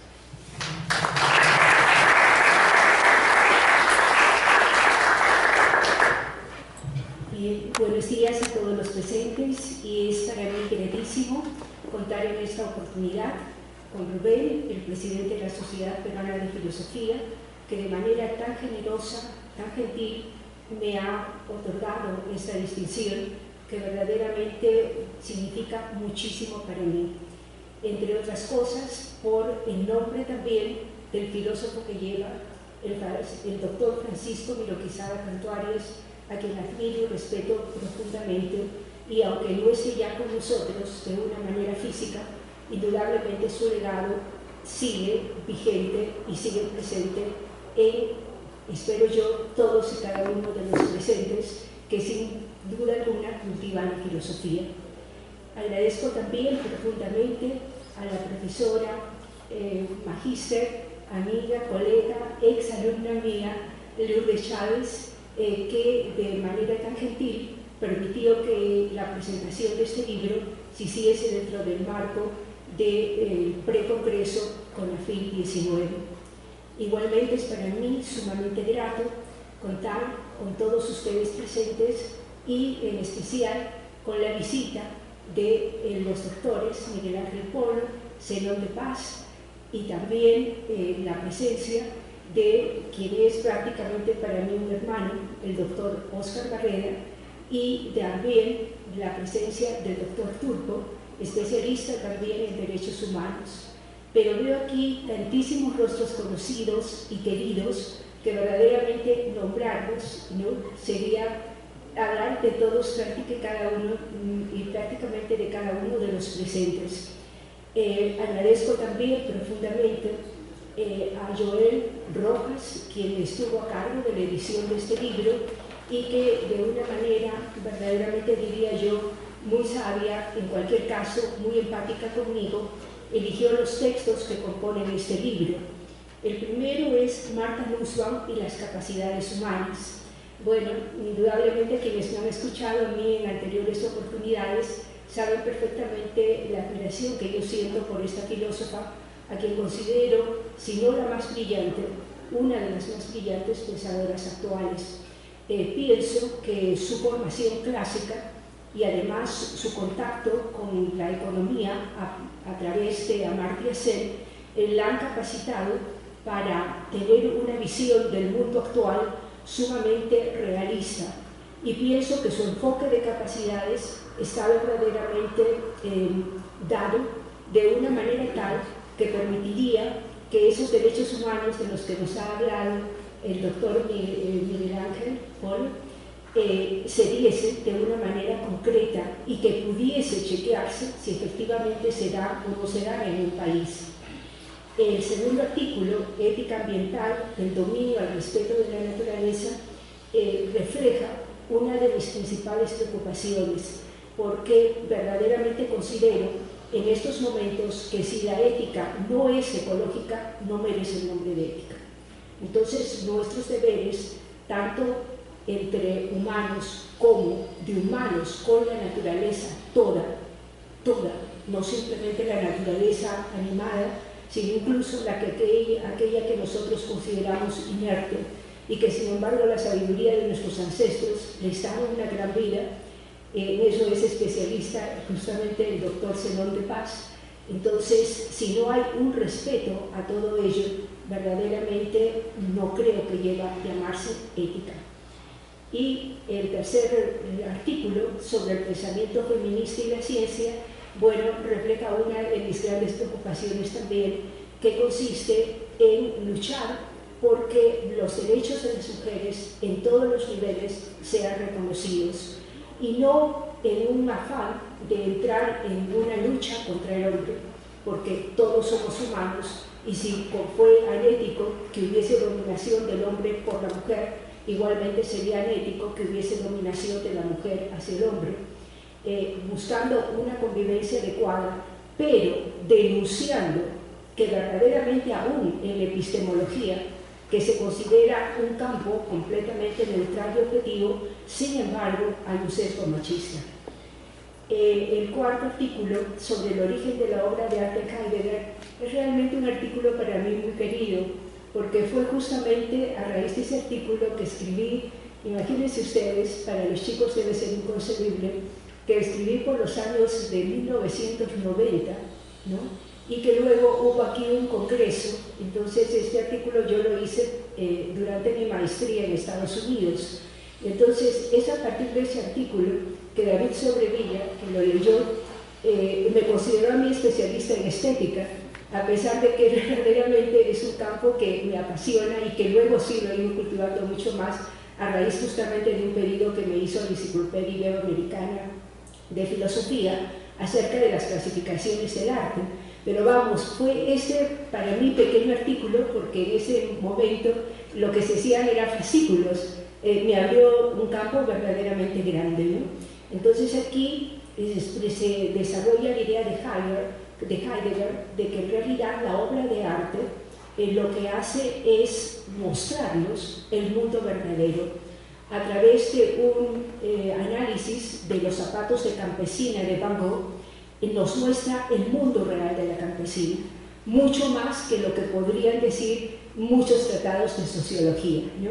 Entonces, esa idea de Aletheia como aparición, como descubrimiento, verdaderamente eh, me sedujo enormemente. Así es que sí es efectivamente un artículo al que le tengo mucho cariño. Y finalmente, una armonía, una aproximación epistemológica, ética, estética, es un artículo un poco ambicioso, diríamos, ¿no? porque trata de básicamente eh, dar a conocer mi análisis sobre el tema de la verdad, sobre el tema del bien y sobre el tema de la belleza. Entonces, a partir de una visión indudablemente panorámica de cómo estos conceptos se han ido tratando a, a través de los tiempos, entonces llego también yo aquí a formular un tipo de, que podríamos decir, de filosofía que me permite a mí eh, tener una orientación dentro del mundo. Entonces, el tema de la verdad, piensen también que este artículo fue escrito, eh, calculo que por el 2006, 2008, en esos tiempos no se hablaba de la posverdad. Entonces, eh, sin embargo, al releerlo, pienso que muchas de esas ideas pueden servir justamente de contrapeso a toda esta ola de mm, desconocimiento de la verdad y que prácticamente eh, quiere borrar los límites entre lo que es objetivo, lo que es subjetivo, lo que verdaderamente es algo del bien común y lo que es simplemente el bien individual. Y claro, todo ese tipo de pensamiento para mí tiene que ver con la belleza, porque la belleza, entre las cualidades que, por ejemplo, Tomás de Aquino le adjudica, está la cualidad de la claridad entonces, la claridad creo que es básica, ¿no? Y es en algo de lo que también eh, se ha decidido aquí en la conferencia del doctor Polo, cuando él habla acerca de los derechos humanos, acerca de mínimos, acerca de máximos, tenemos que tener claridad, por lo menos, en algunos conceptos, ¿no? Eh, es también importante eh, ese tratamiento de la empatía, ¿no? como simplemente una pura subjetivización, sino también como algo que permite un conocimiento del otro. En fin, bueno, todos los filósofos, estoy segura que la conferencia de Zenón también mm, va a hacer que muchas de las cosas que les estoy diciendo aquí, que están en este libro, tengan relación. Afortunadamente nuestra comunidad filosófica es una comunidad muy vital. Y bueno, solamente eh, me queda agradecerles muchísimo, en primer lugar, a la Sociedad Peruana de Filosofía, a Rubén, al que efectivamente conocí, creo que cuando tendría pues unos 16 años, ¿no? Entonces ha transcurrido tantísimo tiempo, eh, hemos tenido toda una trayectoria de vida, ¿no?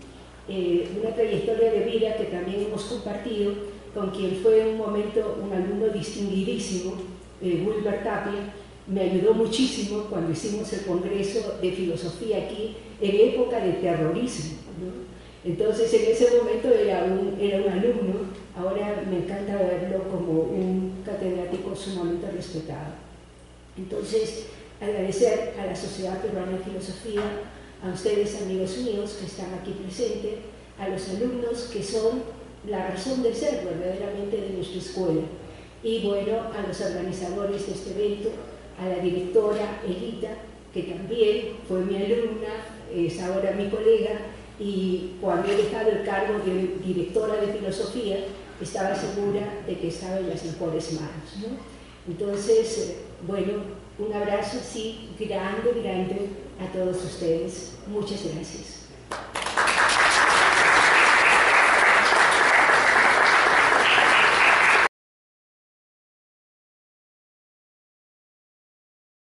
Programación de este evento vamos a tener la este, conferencia de cierre de la jornada presencial del día de hoy que lleva por título Augusto Salazar Bondi como crítico radical de la filosofía y la teología de la liberación a cargo del doctor Zenón de Paz Toledo a quien vamos a recibir con un fuerte aplauso.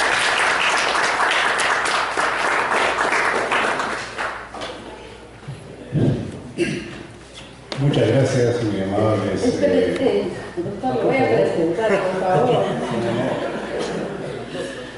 Bueno, en primer lugar, manifestarle que estoy molesta con su presentación, exageradamente modesta. Cinco líneas, creo, y eso me parece un exceso de, de humildad para un pensador filósofo, sociólogo, de la importancia de Zenón de Paz, a quien, ya que hemos estado hablando de las edades y los años, también conozco desde la década de los 80, o sea que hace mucho tiempo, demasiado tiempo, ¿no? Pero con quien se le ha construido eh, no solo una amistad, sino también la admiración que le tengo por su dedicación y reflexión, no solo a la realidad nacional, sino especialmente al mundo andino. Pero para ser respetuosa de su presentación, voy a dar lectura porque me gustó cómo la hizo.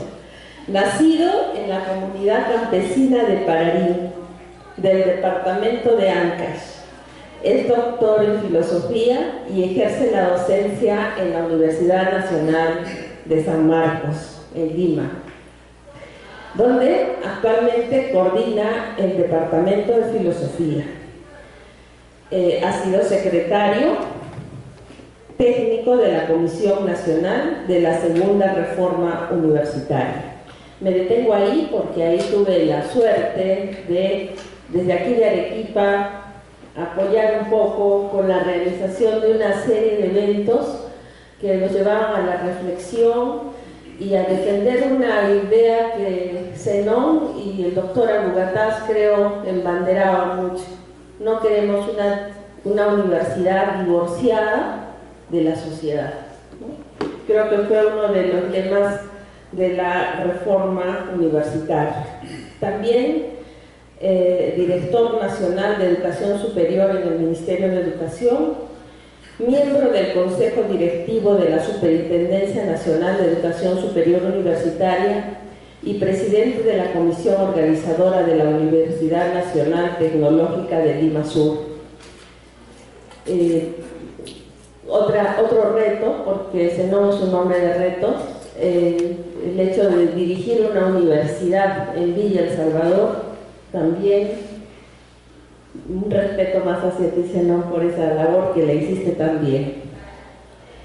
Él tiene diferentes publicaciones y eh, entre sus, digamos, pasiones creo que también está ese afán de interpretar el mundo andino a partir de los manuscritos de Guarochirí.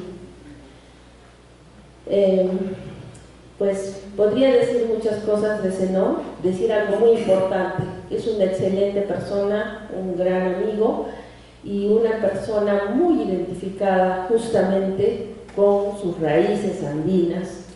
No sé si él estará de acuerdo, pero en las redes te hablan como un hermeneuta del mundo andino, ¿no? Y, y creo que, no sé la, si la palabra es correcta, ¿no? Pero lo interesante es que amas el mundo andino y estamos siempre en esta reivindicación que sea más que palabras. Sin ya no hacerla más larga, y un fuerte abrazo para el doctor Zenón de Paz Toledo.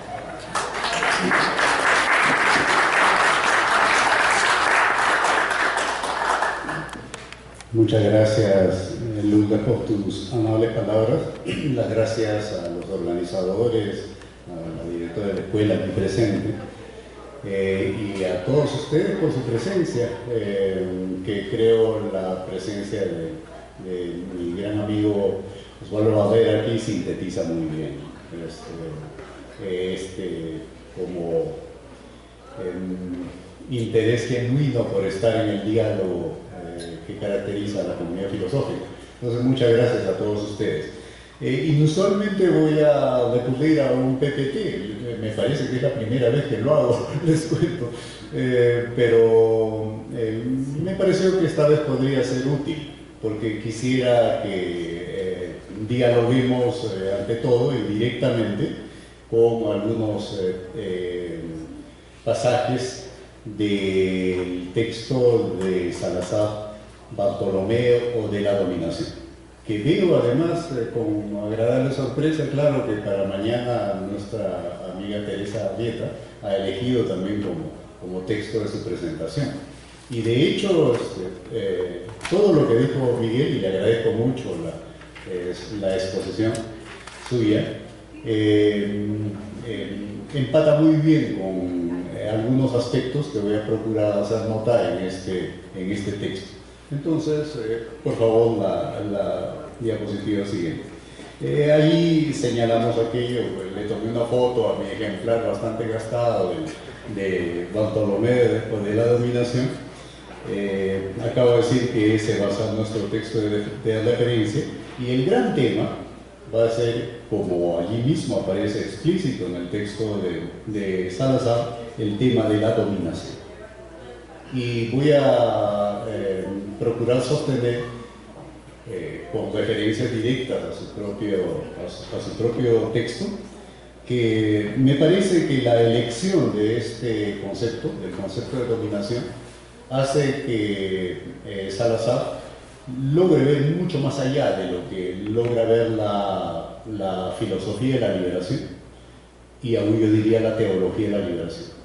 En el fondo, quizá, por razones que vamos a ver acá, de, de parte del propio Salazar, la, la filosofía de la liberación es teología de la liberación.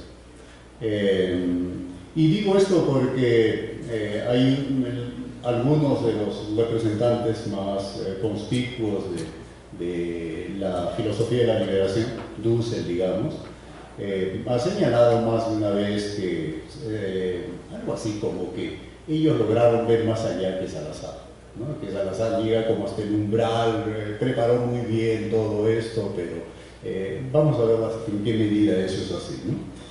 Eh, es un texto, lo anoto ahí, muy peculiar en principio porque elige el formato de un diálogo.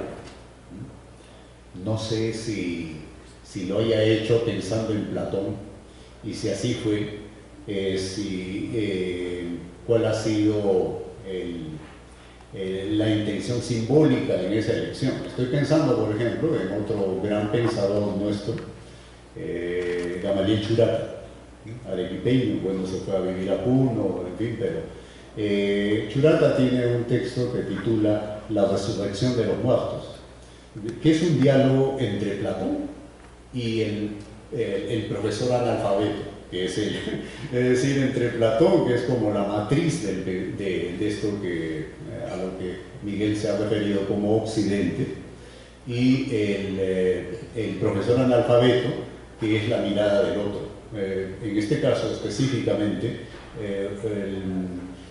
un interlocutor antiguo. lo eligió por eso, lo eligió por las posibilidades que abre el diálogo eh, en términos, por ejemplo, de polifonía, es decir, de poner en juego diversas voces, y acá hay voces muy diversas. Aparecen eh, como interlocutores eh, Don Diego, que representa un conquistador, un encomendero, un colonialista, digamos, Bartolomé, que es Bartolomé de las Casas, pero igual puede ser Gustavo Gutiérrez, la teología de la liberación, aparece Hatuey, un cacique al parecer por el nombre caribeño, pero igual podría ser Tupac Amaru eh, o el mismo Churata. Eh, Micaela, que es Micaela Bastida, sin duda. Eh, Ginés, es evidentemente Ginés de Sepúlveda. Aparece Franz, reconocemos aquí al gran pensador de colonial de los años 60. Es decir, es una diversidad de voces desde diversos registros, diversas perspectivas y diversos momentos también. porque podríamos tener un, un diálogo diverso, pero en el momento actual, digamos, hacemos como un ponte en el tiempo, eh, hacemos como un tapo abierto más bien, esta es la capa en la que estamos nosotros y ahí dialoga un conjunto de voces de, distintas ubicaciones, claro, pero no, aquí además ocurre que hay voces que, que se sitúan en una capa previa, pero que igual podrían, podrían representar otra que está... Eh, eh, a diferente nivel, etc. Eso me parece que lo hace sumamente interesante. Es como que, ah, tal como ocurre con los eh, estos del manuscrito guarachiní, que se encuentran en el, en el Cerro uno viene de arriba, el otro viene de abajo, y eh, narrando lo que pasa arriba y lo que pasa abajo van componiendo una visión del mundo, dialogada. ¿no? Estos dos ojos, recordémoslo, Arguedas los hace reaparecer en Chimbote, en la década de los 60 justamente, y, los hace componer algo así como un otro ensayo de interpretación de la realidad peruana, solo que ya no en clave eh, discursiva, argumentativa, conceptual, sino en una clave simbólica. Algo de esto hay acá, me parece que sí. Eh, todo esto hace de este texto en particular algo sumamente interesante y debo confesarles, les agradezco la oportunidad que me han dado de poder leerlo, este, porque la verdad es que antes lo había ojeado y no lo había leído en su integridad. Me pareció que era el discurso de la, de la liberación que conozco en sus líneas básicas, pero leyéndolo ya con detalle, eh, he quedado eh, eh, profundamente impresionado, de manera que suscribo algo que dice su esposa y que citaré al final. Eh, un párrafo de lo que pone por ahí Leopoldo Tiapo en la presentación. Dice, este libro trata del tema central de nuestros tiempos, de la dominación y la liberación de los hombres y de los pueblos, que es también el tema central de la existencia humana y por eso una idea básica de la historia del hombre. Eh, bien, veremos. yo decalco aquí que se trata de un tema central para entender nuestros tiempos, quizá un tema central para entender el destino humano, eh, y entonces lo vamos a ver en esos términos. Las, las tercera vista, por favor. Sí, creo que es eso. Muy bien. Eh, allí este, em, algunos pasajes de lo que la esposa de Salazar, Helen Orvig, ha escrito en el prólogo a la primera edición, que es esa cuya tapa hemos visto hace un momento. Eh, ah, perdón, este texto lo escribe Helen Orvig, en un texto de Salazar, editado por San Marcos bajo el título Dominación y Liberación. Eso es del año 1995. Entonces, ¿qué dice eh, entonces Helen? En mayo de 1973 participó Salazar en un seminario de preparación de alfabetizadores del programa Al fin de la reforma educativa. El contacto que obtuvo, vean aquí está hablando de algo que Salazar obtuvo en el contacto con los alfabetizadores, porque uno diría, son los alfabetizadores los que van a obtener algo si de obtención se trata. No, aquí es muy interesante lo que dice su esposa. Continuamos. El contacto que obtuvo él, el muy serio, con su lenguaje invariablemente académico, con los futuros alfabetizadores, tengo la impresión, anota, que mayoritariamente de extracción popular, ese contacto lo sorprendió y lo entusiasmó. Me parece interesante esto. Y luego no para de hablar de entusiasmo esta palabra griega que supone que uno entra como un estado de bendición y produce cosas, ¿no? Eh, a ver, vamos a ver qué dice. Em, y lo entusiasmó. Y como se fue directamente de allí a una reunión de UNESCO en Hamburgo por unos días, en el avión se puso a escribir una suerte de antropología de la dominación en forma de diálogo para los alfabetizadores y todas demás, las demás personas a quienes la filosofía nunca llegaría. Notemos también a quienes está dirigido esto. Eh. Ya.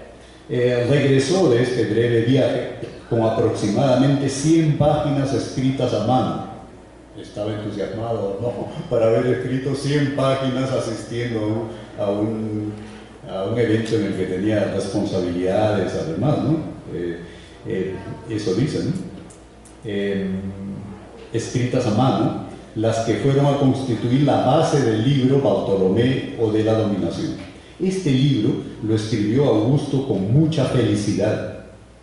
A mí me parece muy simpático eso, lo escribió con mucha felicidad.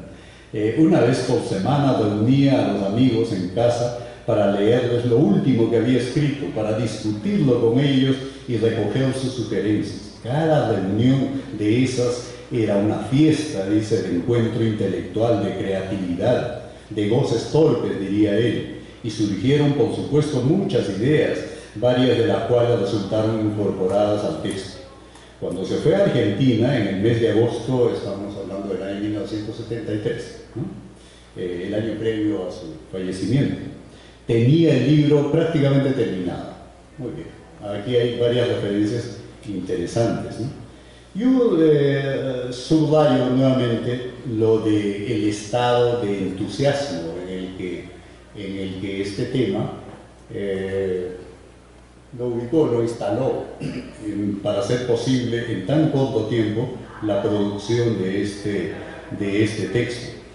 Eh, pero también esto me sugiere, uno se entusiasma pues ante algún hallazgo, este, o por lo menos eh, cuando em, nos hemos eh, topado con problemas o hemos entrevisto problemas que hasta entonces no entrevíamos.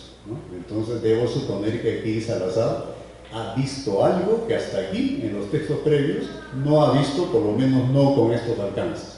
Y, eso es importante notar también porque este texto este, fue póstumo, es decir, no tuvo la oportunidad de desarrollar algunas cosas que voy a procurar hacer notar acá. Eh, adelante. Eh, este texto está, eh, si uno lo lee rápidamente, digamos, lo que va a notar, claro, es un lenguaje, una agenda temática allí. ¿Qué agenda temática es? La que él ya ha estado trabajando.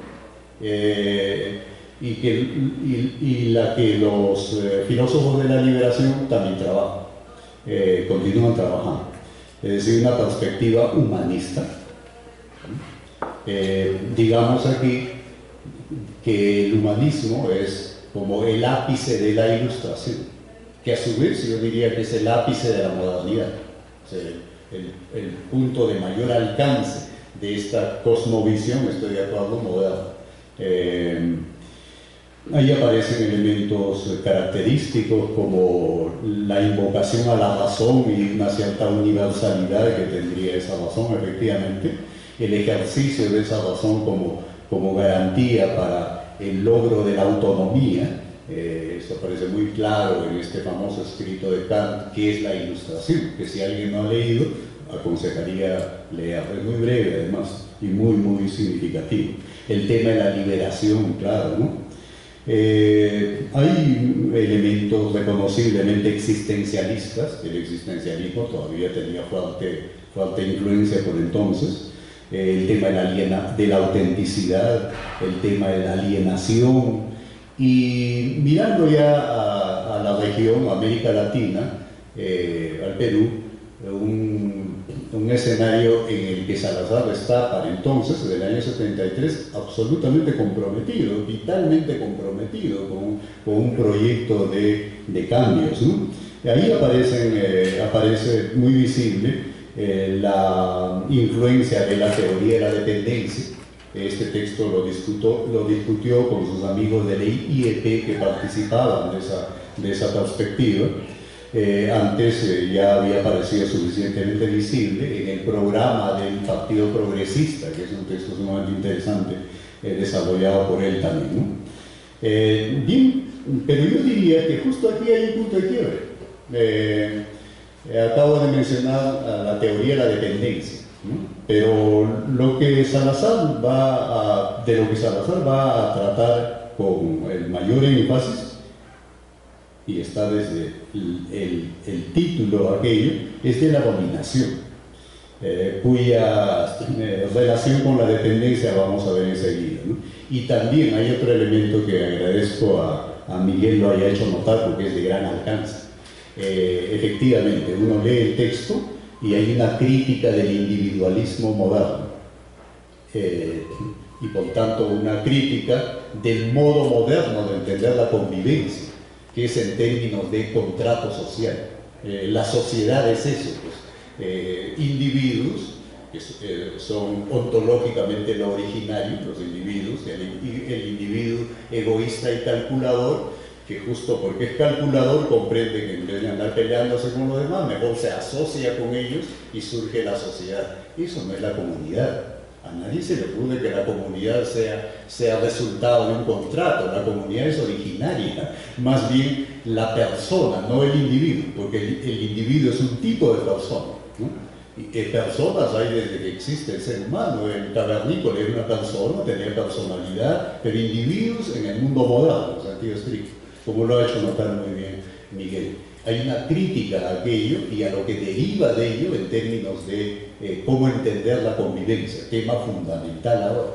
Porque si hay algo que tenemos que repensar son los términos de la convivencia. Eh, cómo se entiende entre seres humanos y si se circunscribe a los seres humanos como Teresa lo ha hecho notar también hace un momento. Bien, de eso habla este texto, eso es lo que me parece que lo hace sumamente interesante. Eh, bien, eh, continuamos entonces.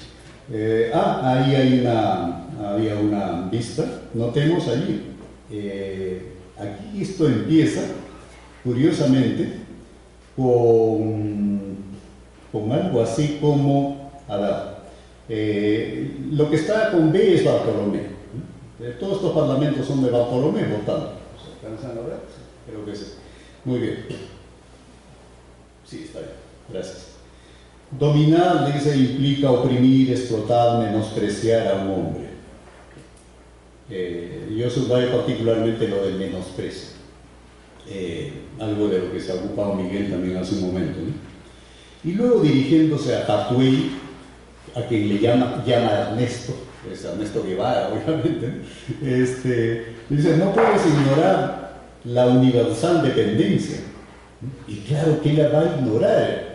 Si hay algo que caracteriza a las ontologías amerindias, es lo que Esterman ha llamado la relacionalidad universal. Todo está relacionado con todo. No hay ente que se conciba como autónomo o autárquico, eh, atómico no, todo está relacionado con todo. Eso se puede notar en cualquier, digamos, el clima, ¿no? Eh, ah, la araña tal puso su, su nido esta vez eh, a flor de tierra en esta dirección.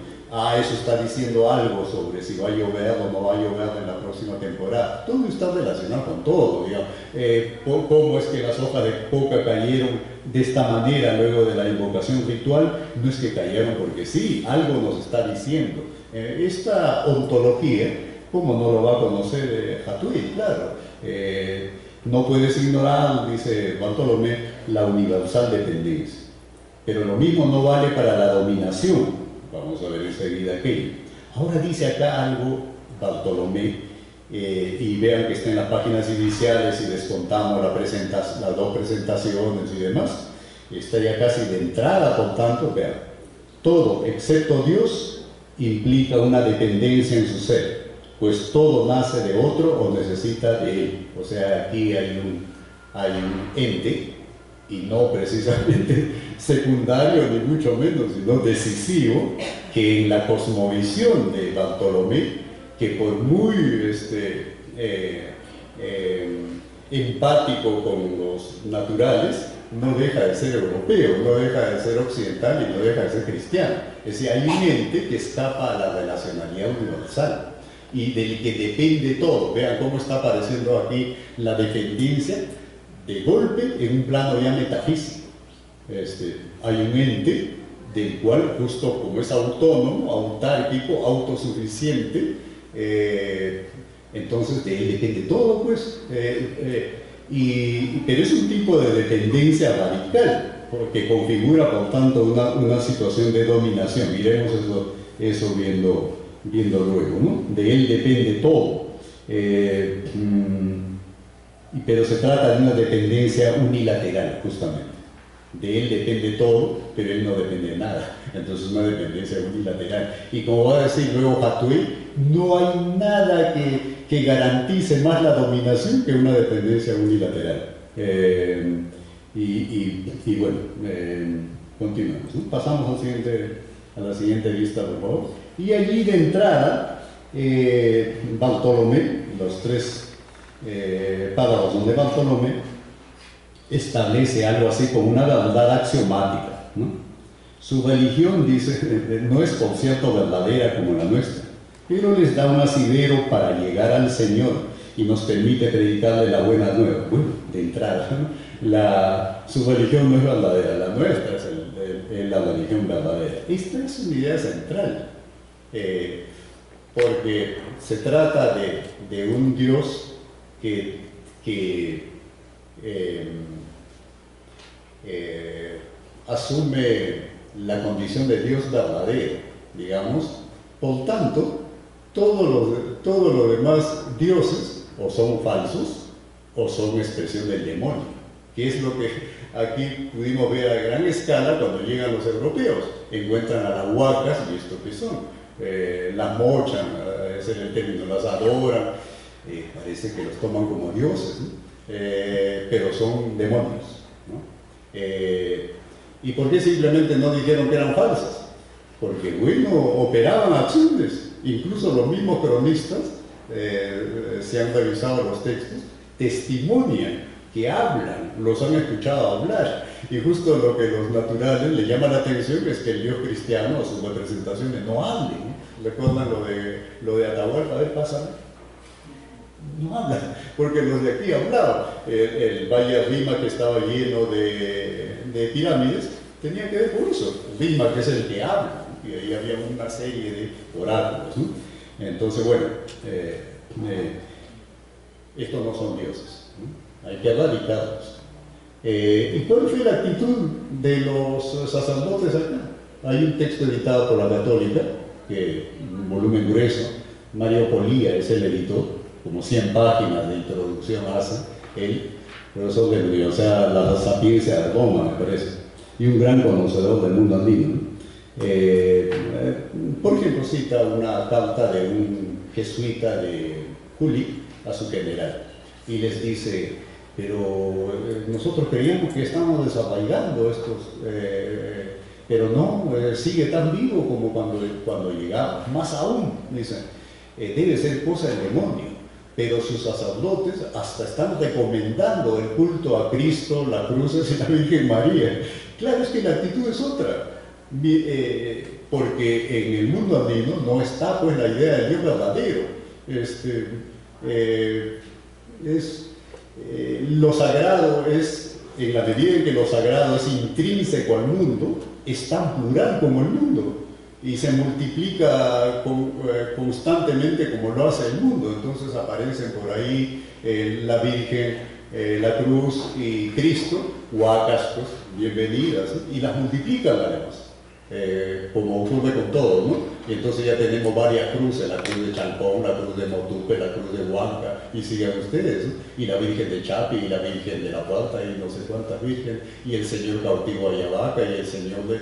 Multiplicaron esto, este, es decir, la posición inversa al, digamos, a la actitud excluyente del Dios cristiano que dice, no tendrás otros dioses delante de mí. Entonces es interesante que haya un vínculo eh, del tema dominación con esta referencia metafísica. Eh, continuamos, verdad, este, eh, y ahí mismo, antes de pasar, dice pues, todas las naciones del mundo son hombres y el linaje de los hombres es uno, todos son semejantes en su corazón y naturaleza. Todos los hombres del mundo tienen entendimiento y voluntad. Sí, claro, pero tal como él entiende el entendimiento y la voluntad, este, y tal como él entiende la naturaleza. Este, eh, Levi Strauss cita un pasaje bien interesante, no sé de dónde lo ha tomado, de alguna crónica supongo, en que los, los europeos que llegan al Caribe eh, dudan de si los, los, naturales tienen alma, ¿no? De lo que no pueden dudar es que tienen cuerpos, claro. Este, eh, eh, pero los nativos, al revés, no dudan de que tengan, de, de lo que dudan es de que tengan cuerpos como los de ellos. Ellos es imposible que duden pues, que, tenga, que estos barbados que están llegando tengan alma. Todo tiene alma, si la montaña también tiene alma, y la piedra tiene alma, y el río tiene alma, porque estos no van a Entonces eran ontologías distintas, como pueden ver, con consecuencias distintas. Eh, eh, continuando. Eh, y ahí dice, cuando unos individuos, grupos o pueblos oprimen y despojan a otros, abren la vía a la desigualdad en la existencia humana y permiten que el mal se enseñoree en la historia. Yo ahí básicamente de paso subrayaría cómo va identificando el mal con la diferencia, y no necesariamente.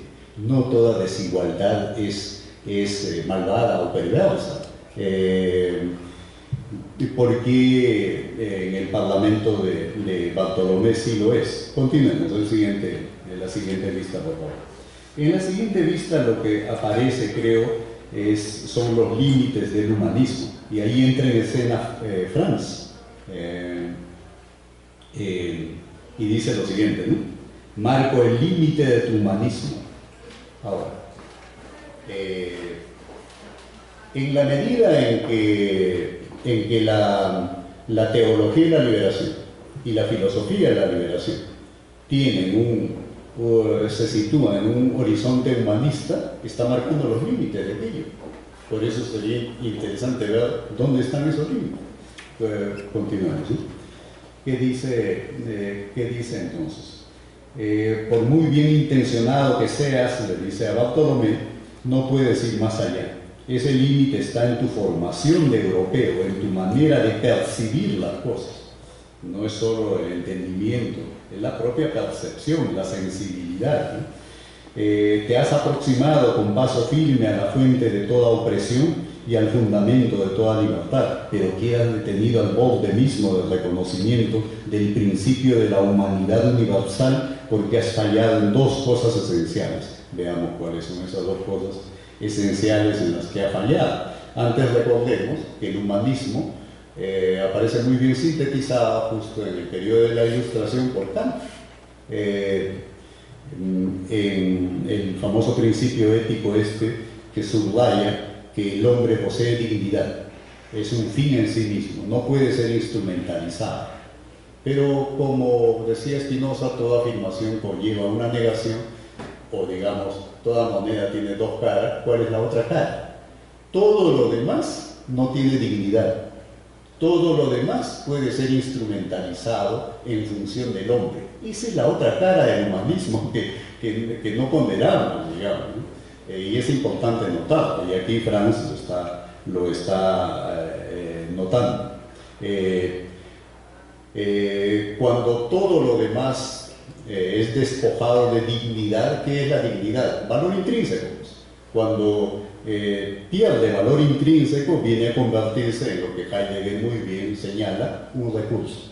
Y entonces eh, el mundo circundante, eh, Pachamama, digamos, desaparece, desaparece en Gaia, este, y lo que queda es un almacén de recursos, ¿no? recursos naturales, lo llamamos. ¿Y para qué está un recurso? Para ser explotado, pues, ¿para qué más? para que rinda al máximo en términos de economía. Pero esta mirada como toda mirada tiende a universalizarse, también se posaría en los semejantes. ¿Y qué es lo que ven los semejantes? Igual, recursos humanos. Y cuando yo veo al otro como un recurso, igual lo que tengo que garantizarme es que, es que rinde al máximo. Para esto tenemos las oficinas, las direcciones de recursos humanos en la universidad, para que los profesores rindan al máximo este, y, todo lo demás. Esto es algo que hay que notar. Continuamos. En el, en el párrafo siguiente dice, eh, he aquí la primera respecto a esas fallas. Eh, de un modo o de otro defiendes la soberanía del rey de España en tierras que pertenecen a otros pueblos, en tierras que pertenecen a otros pueblos. ¿Con qué derecho defiendes la, soberanía? ¿Cuál es tu argumento central? Y claro, aquí pronto va a aparecer la fe pues, como argumento central. Eh, dice ahí Bartolomé, pero únicamente para garantizar la difusión de la fe. Pero habría que preguntar con qué derecho. Eh, eh, Franz, nuevamente. Asegurar la difusión de la fe cristiana significa legitimar por la religión, que no se ocupa, creo, de las cosas de este mundo, no, pues desvalorizó el mundo y no se ocupa de las cosas de este mundo. Mi reino no es de este mundo, este, aparece por ahí en los evangelios. Eh, eh, lo que ocurre ahí es una desvalorización del mundo eh, y con todas las consecuencias que esto implica, acabamos de señalar algunas. el poder de un monarca extranjero, y dice, y aceptar la imposición de conceptos y valores de una ideología que los pueblos invadidos no entienden y seguramente no les conviene entender. Eh, Bartolomé, tu tesis parece ser que la prédica de la fe no legitima la guerra, ni tampoco la soberanía del rey, y que incluso, notemos esto, eh, es perspicaz Bartolomé, ya lo notó, dice, tu tesis parece ser que la fe incluso es principio de, opresión. ¿No es así? Franz, en efecto. Eh, vean lo que dice Bartolomé. Me parece muy interesante. Necesito pensarlo mejor. O sea, su actitud no es la del dogmático. Este, no, no, no. A ver, lo que estás diciendo no es disparatado. Me abre otra perspectiva. Necesito pensarlo mejor. Eso, eso es lo que señala. Eh, y luego vamos a, eh, vamos a ver que esa es siempre su actitud. Segunda falla, pasamos al siguiente, por favor. Pero antes dice, quiero conocer eh, el segundo error grave, que según Oblitas, Oblitas, es Franz, este, en esta polifonía y también este, son personajes como polimorfos. Oblitas, el lugarteniente de, de tu mamá, a él se está refiriendo, a este lugarteniente eh, mulato, sambo o, algo, pero afro. Eh, este es Franz Fanon, obviamente, el, gran teórico de colonial este, antillano. Eh, continuemos. Pero quiero conocer segundo dos grados, Franz tu buen deseo de que se difunda la doctrina cristiana para que los indios o los negros o los chinos o cualquier pueblo no europeo, que para el caso es lo mismo, lleguen a superar sus defectos, pues estos son pueblos que andan en una condición de, defectiva, como, como se hizo notar hace un rato también, para que lleguen a superar sus defectos, se civilicen, alcancen a vivir como los europeos, esos civilizados, ¿no? y sean iguales a ellos. Es humanista, dice, solo en apariencia, en el mejor de los casos, imperfectamente. entonces, ¿cuál es el humanismo consecuente? Eso es lo que, lo que hay que esperar a ver. Este humanismo, en realidad, no lo es. Eh, en el mejor de los casos, dice, es concediéndote buena voluntad, que tú parece que la tienes, es imperfecto. Eh, ¿Qué dices, Bartolomé? Yo quiero sinceramente un trato igual para todos. Franz, sí, siempre y cuando se igualen a los europeos.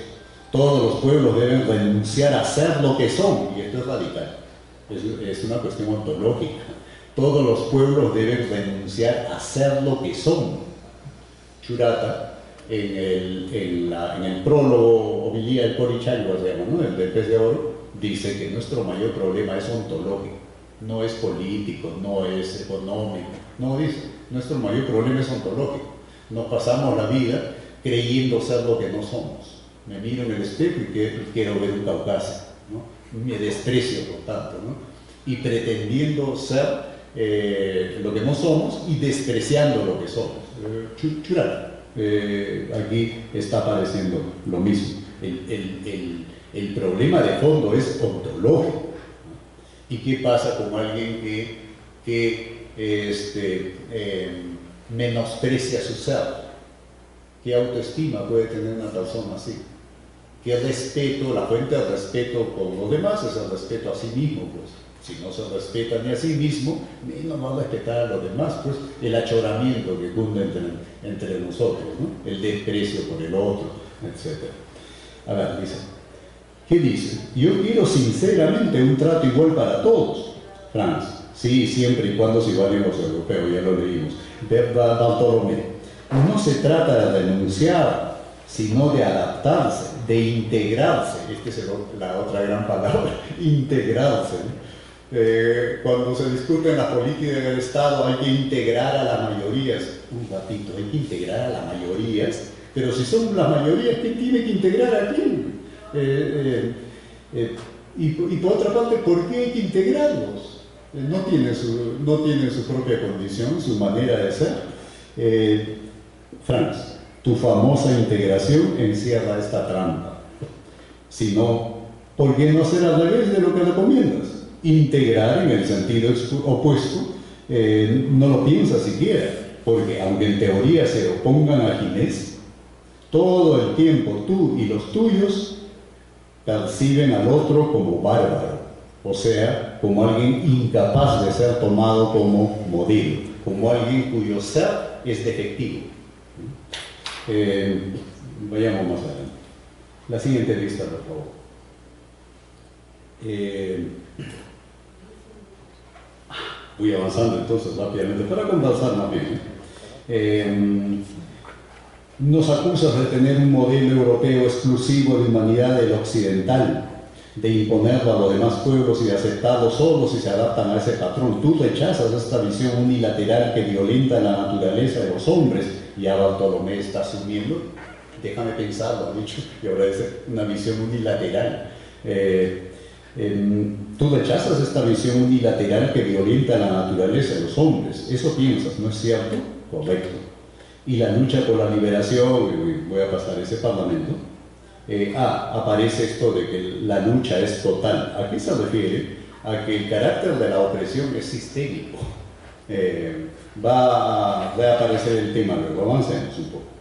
Luego lo que viene son un conjunto de parlamentos, en la siguiente vista que tiene como título Dialéctica de la Dominación, eh, donde lo más interesante es justo el tema de la integración, el momento en, que el dominador busca integrar al dominado, el dominador postula una igualdad formal de los hombres. Eh, Miguel eh, se detuvo en el tema también. Eh, como la igualdad de individuos. Primero, los seres humanos son convertidos en individuos, una ficción.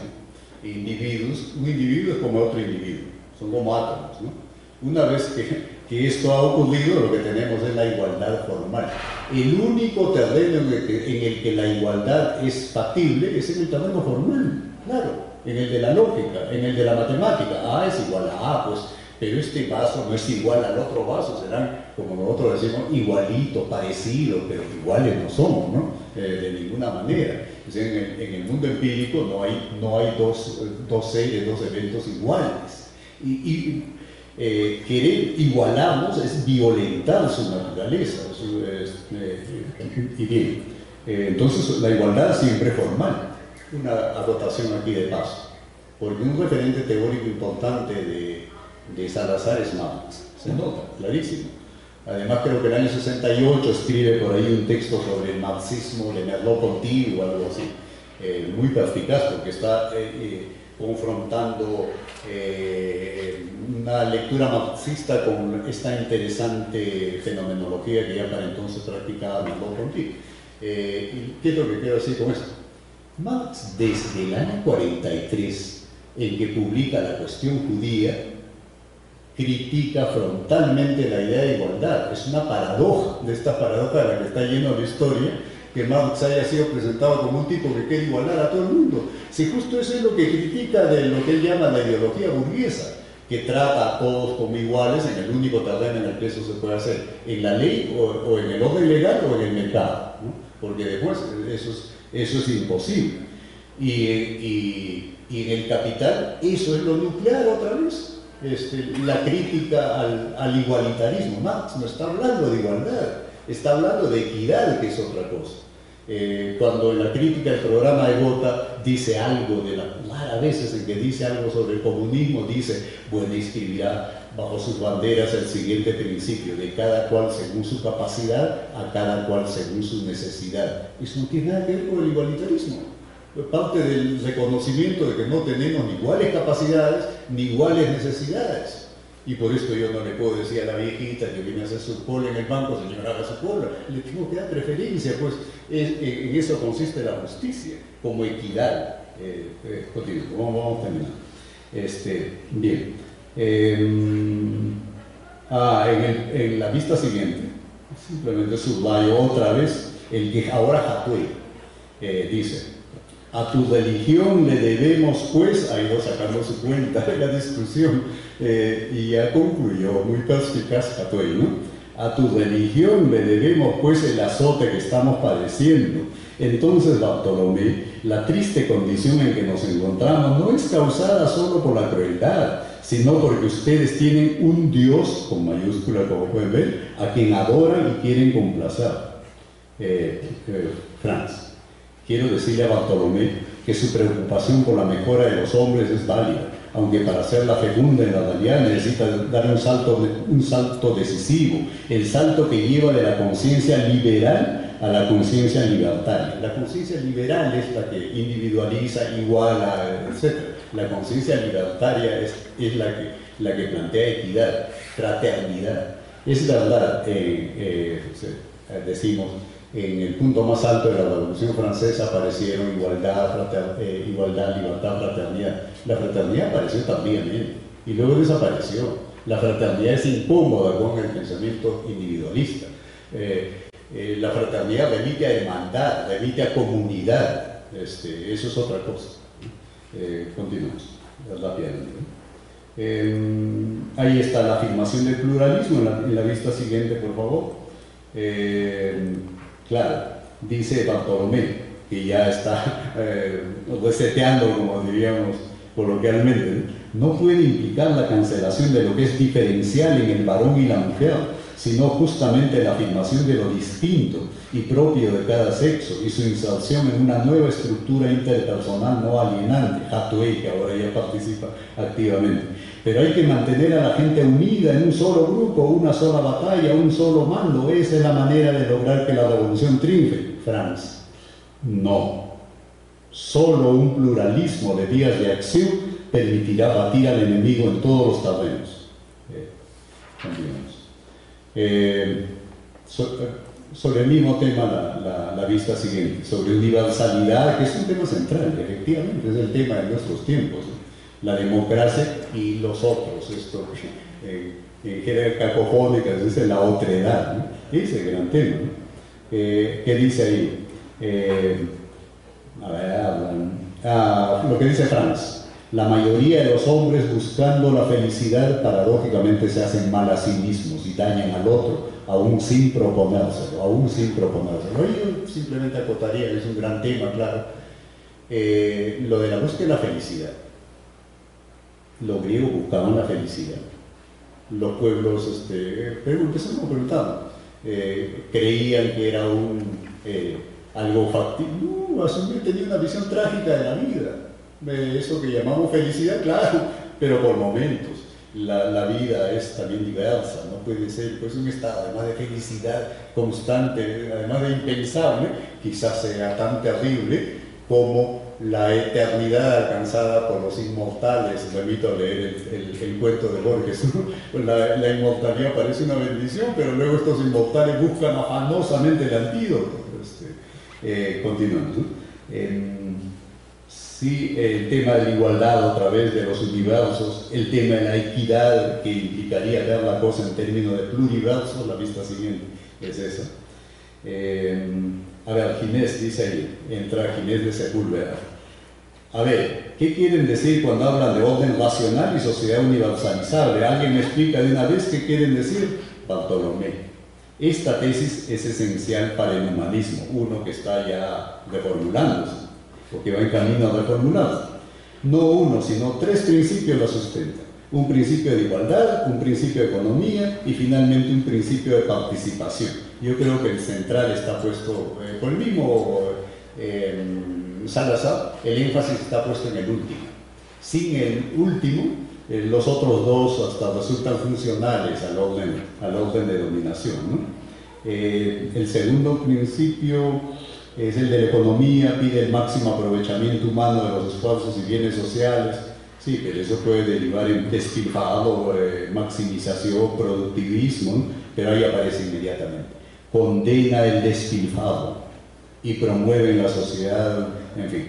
Y, claro, esto se vincula con el principio de fraternidad que, sostiene eh, el tercer elemento, ¿no? esto de la participación. Vamos terminando. Eh, el siguiente, la siguiente lista, por favor.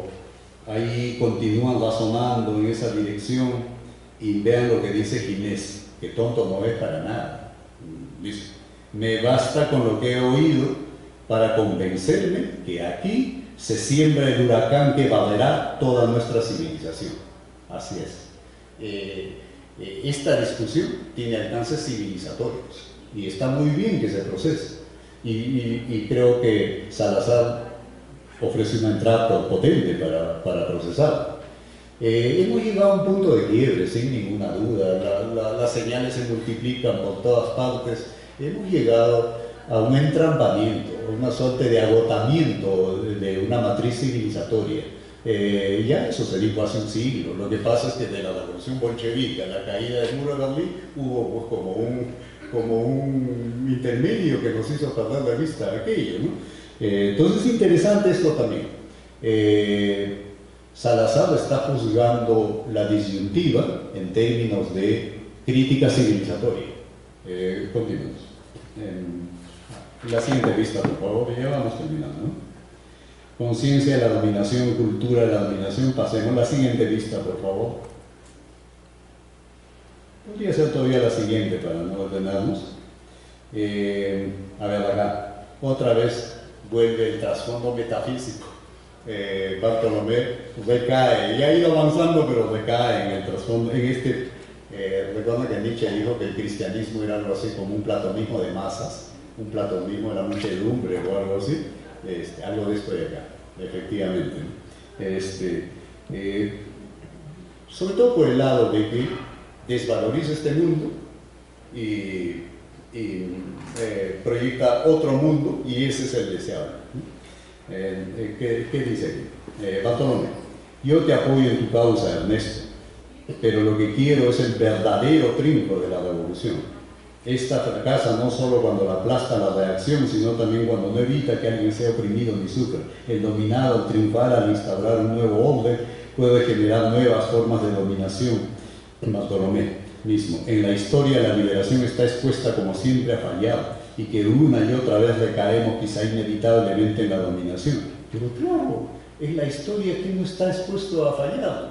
Eh, pero está viendo otra vez eso como defectivo y por tanto la liberación verdadera no es de este mundo, es de otro mundo, este, eh, aparece ahí. ¿no? La llevamos en la conciencia, dice la dominación, en eso tiene razón. ¿no? Este, eh, si entendemos, como lo entiende que inicia la fenomenología, conciencia como esta dicotomía sujeto-objeto por allá, ¿no? conciencia de. Eh, y ahora sí, ya esto termina. Eh, mm, el, el, el subsiguiente, ese que titula La realización total de la libertad.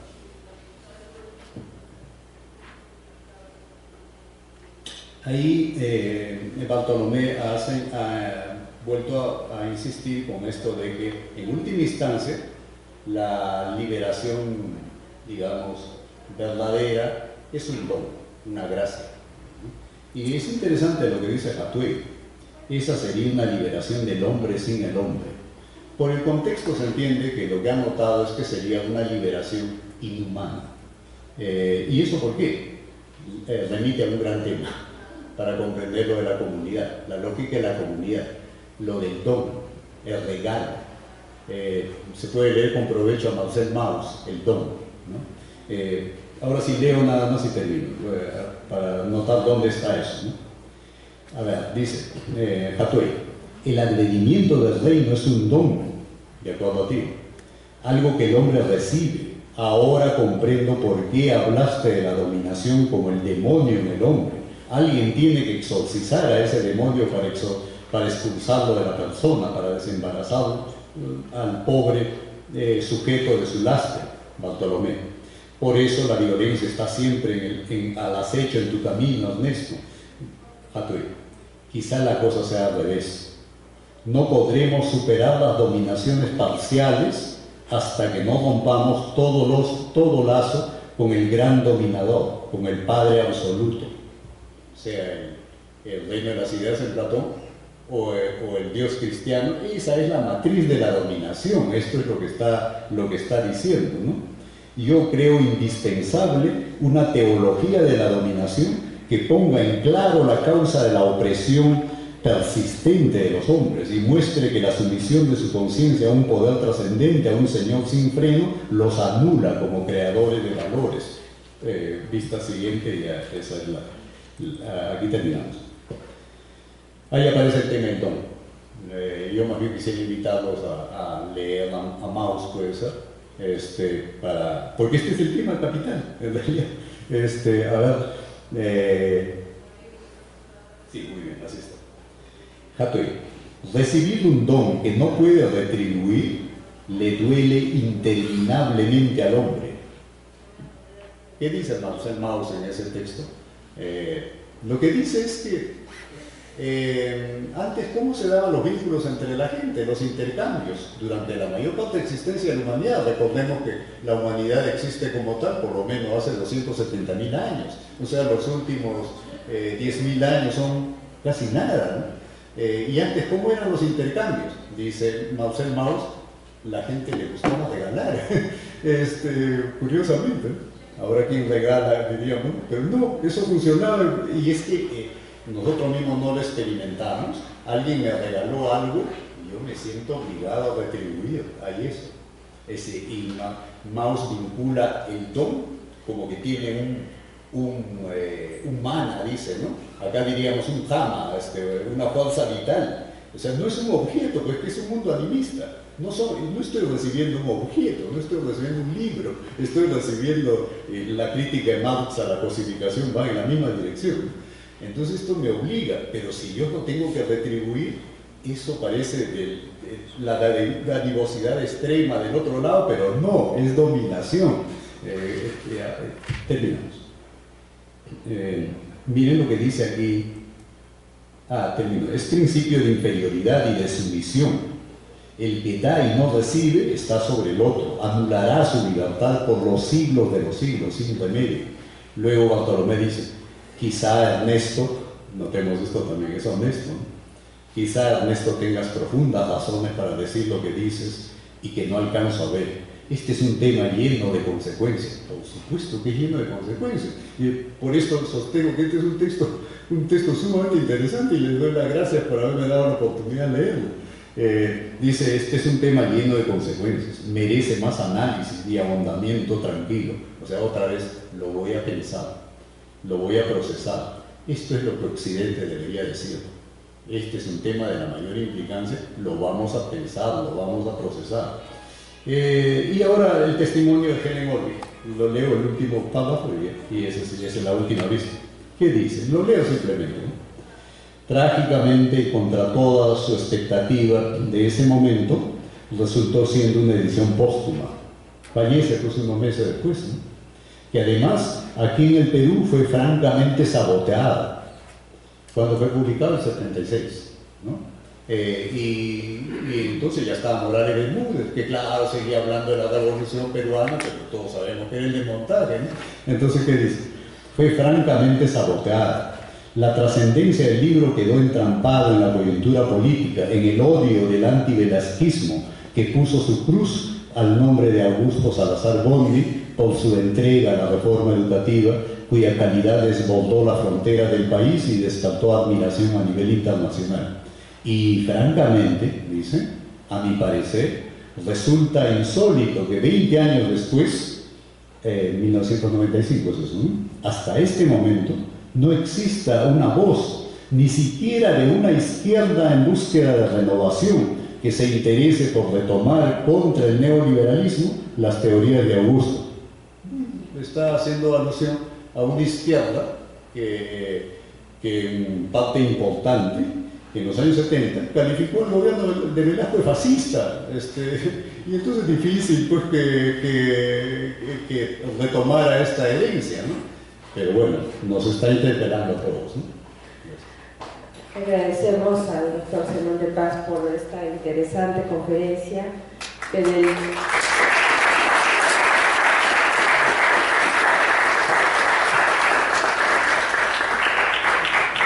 les iba a decir que del dilema hamletiano de ser y no ser, me quedo con esta frase de el problema ontológico que tenemos ahora es que muchas veces nos creemos lo que no somos y despreciamos lo que somos como peruanos.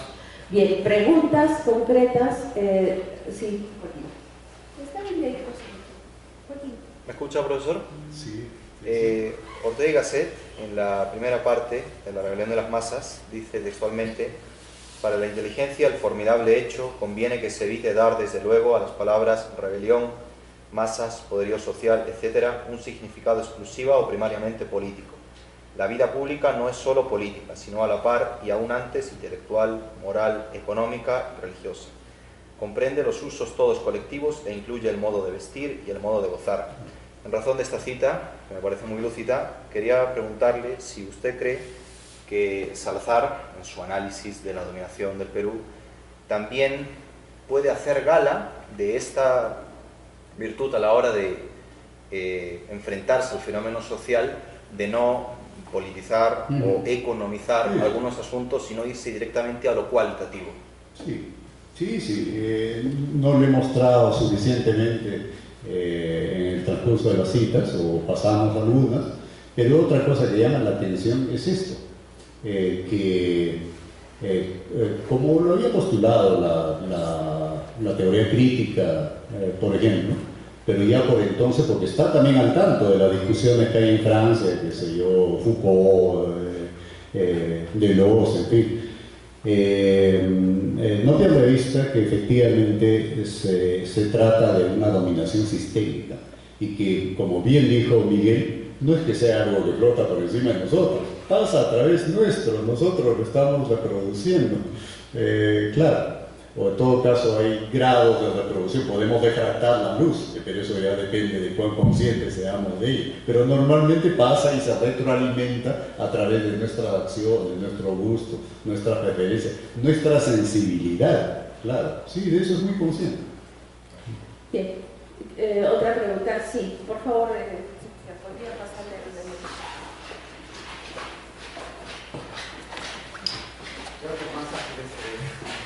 me parece que más fácil es que me acerque. Bueno, muchas gracias este, por la exposición este, muy interesante y creo que es necesario eh, rescatar pues que me parece que lo que hace Salazar es eh, mostrar que existen interlocutores válidos, ¿no? que normalmente no, no se consideraban en filosofía, eh, como, como, como, es Micaela, como es este en fin. Eh, en un plano, digamos, este, se podría decir hasta etnocultural y, y, también el problema del feminismo, en fin.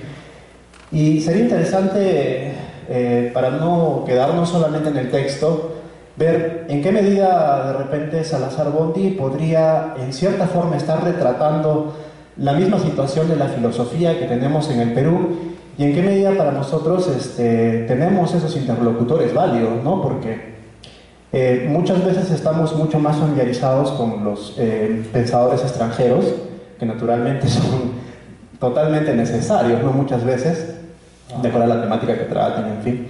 Pero muchas veces hay este, pensadores que a veces están a la vuelta de la esquina y ni los conocemos, ¿no? Aquí en Arequipa murió Javier Lajo y no, no, no se conoce eh, el año pasado, ¿no? Esa filosofía que es hasta puquina, ¿no? Que es muy propio de acá del sur del Perú. Eh, hace poco se habló de las filósofas peruanas y nosotros estamos muchas veces familiarizados con las filósofas peruanas, incluso de Lima, pero no conocemos lo que a veces tenemos en la sierra, ¿no? Por ejemplo, la pensadora Yané Medrano, que es de Puno, eh, hace tiempo está trabajando el tema del de chachahuarni y todo esto, que es muy similar a lo, justamente a lo de Micaela. Solamente para, para terminar, este, quería eh, justamente preguntar eso, ¿no? ¿En qué medida sería bueno hacer este, un, un, mapeo de la filosofía y tratar de darnos cuenta que existen muchos rezagos exactamente de lo que había en esa, mm. en esa época? Gamaliel Churat ahora es muy conocido, pero En otros, en otros tiempos él no estaba, digamos, en los círculos filosóficos, más bien literarios, ¿no? Eso. Gracias.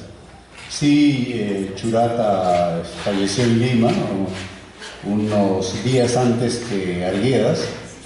Lo de Arguedas se supo, obviamente, lo de Churata pasó desapercibido, eh, absolutamente. Eh, andaba alojado por ahí por el río Cayoma, que es un lugar modesto en Lima, nadie se enteró de que había fallecido este personaje que yo le he dicho en alguna otra oportunidad, eh, eh, yo considero el filósofo más importante que hemos tenido.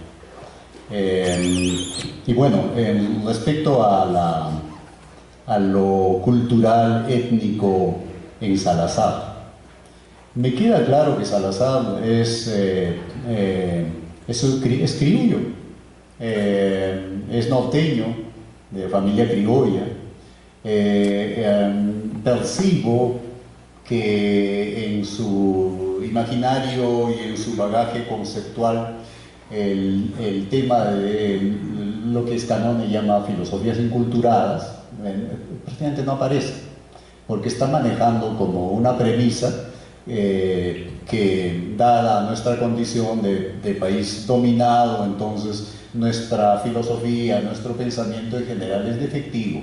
Eh, y, pero en los sectores populares, igual, pues esa condición efectiva se manifiesta. Por esto es que este texto me parece, me parece sumamente interesante, porque mi impresión es que aquí el entusiasmo suyo ha tenido que ver con que ha visto otras cosas en su contacto con los alfabetizadores de, de Alfín, ahora que vean, ¿no? Pero su esposo está testimoniándolo. Y de pronto ya no está pensando así. Eh, eh, pone en juego a Hatuey, pone, pone en juego a Franz, pone en juego a, este, a Micaela, etc. Y entonces, de hecho, ya está asumido y, ha puesto en juego, eh, ha llevado, en alguna parte él dice, para mí ser radical estaba entre las pistas, pero solo que no nos hemos detenido ahí. Ah, tú me planteas preguntas, dice, este, llevar esto a su radicalidad, dice Bartolomé, para es Salazar. Eh, para mí eso es ir a la metafísica. Y bueno, ¿qué es lo que aparece en el plano metafísico aquí? La confrontación entre dos ontologías distintas. Una que desvaloriza al mundo, que tiende a, homogenizarlo, y otro que reconoce más bien un valor intrínseco y el valor de la diversidad. ¿Y eso de dónde lo está tomando? ¿Quiénes expresan ese punto de vista? Gente como Hatuey, como Micaela. Entonces ya no está pensando que eh, lo que hay acá es defectivo básicamente. Ya, ya cambió aquello. Por eso me, me a mí, ¿qué hubiese pasado si no, si no fallecía unos meses después? Eh, yo no tengo duda, después de haber leído el texto, que ya iba en otra dirección, en una dirección muy actual además, este, porque eh, el debate contemporáneo está, está por allí, ¿no? Eh, y en cuanto a, a, las pensadoras nuestras, sí, pues, este, eh, allí, o en otro texto, Salazar hace una distinción entre el pensamiento académico, pero también se ocupa del pensamiento que no es académico, aunque igual todavía entonces lo considera defectivo, ambos son igualmente efectivos, este, eso lo está realizando. Pero sí, no perdía de vista ese otro circuito. Y sí, claro que hay, hay mujeres interesantes. Eh, yo identifico, por ejemplo, bolivianas interesantes. Eh, no recuerdo en este momento cuál es el nombre de esta mujer que se ocupa del tejido boliviano. Eh, sí, Silvia también, pero hay una que se ocupa de tejido, básicamente, Karen. pero, pero en realidad lo que, el modo como entiende el tejido, este, la lógica del tejido, potente, este, eh, por ahí recordaré su nombre, y hay varias, este, sí, y hay varias, este, de hecho, sin duda. Buenos días, profesor. Felicitaciones por su intervención en este coloquio. Creo que es eh, importante, interesante lo que usted nos ha hecho ver en su ponencia. Es una realidad.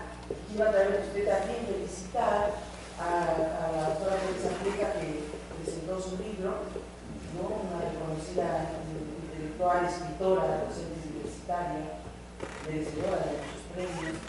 Y eh, está también aquí en la sala, eh, porque ha hablado de, este, de José Churaca, Manuel Churaca. Sí.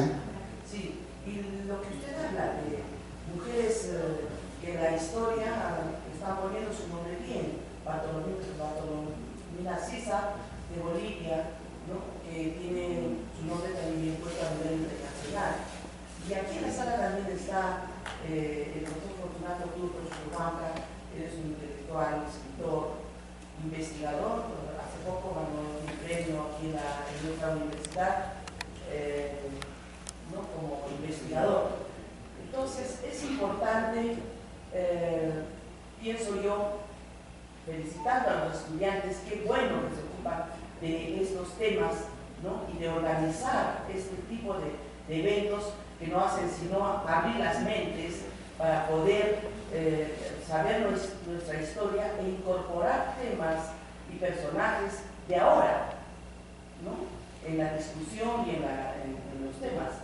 Eh, pienso, por ejemplo, que se puede incorporar eh, todo lo que es el mundo andino, los pueblos indígenas, de hecho el doctor Tupo es también fundador del Foro Permanente Unidas, para los pueblos indígenas y eh, incorporar los temas indígenas porque, como decía el joven a que me ha antecedido, hay en las provincias, en los distritos más alejados de nuestra ciudadanía, personajes importantes de quien podemos extraer experiencias como las que usted acaba de decir, por ejemplo, los tejidos, ¿no? Este, esa, esa riqueza que tenemos, eh, ese bagaje de experiencias de todo, incorporar a la filosofía, que es la ciencia que nos permite eh, dialogar, ¿no? abrir la mente eh, y discutir. Eso nada más, felicitaciones. No, muchas gracias. Eh, recordé el nombre de la boliviana, es Verónica Cereceda. Pero hay una peruana de Cusco, de la provincia Salta del Cusco, que ha sustentado hace unos años una tesis doctoral, me parece que en Francia. Ella se llama Eugenia Carlos. Eh, su tesis está en la red. Y es igual, me parece que es una tesis sumamente interesante, muy potente. Eh, ok, muy bien. Sí. Eh, nuevamente, este, muchas gracias, doctor, por la ponencia.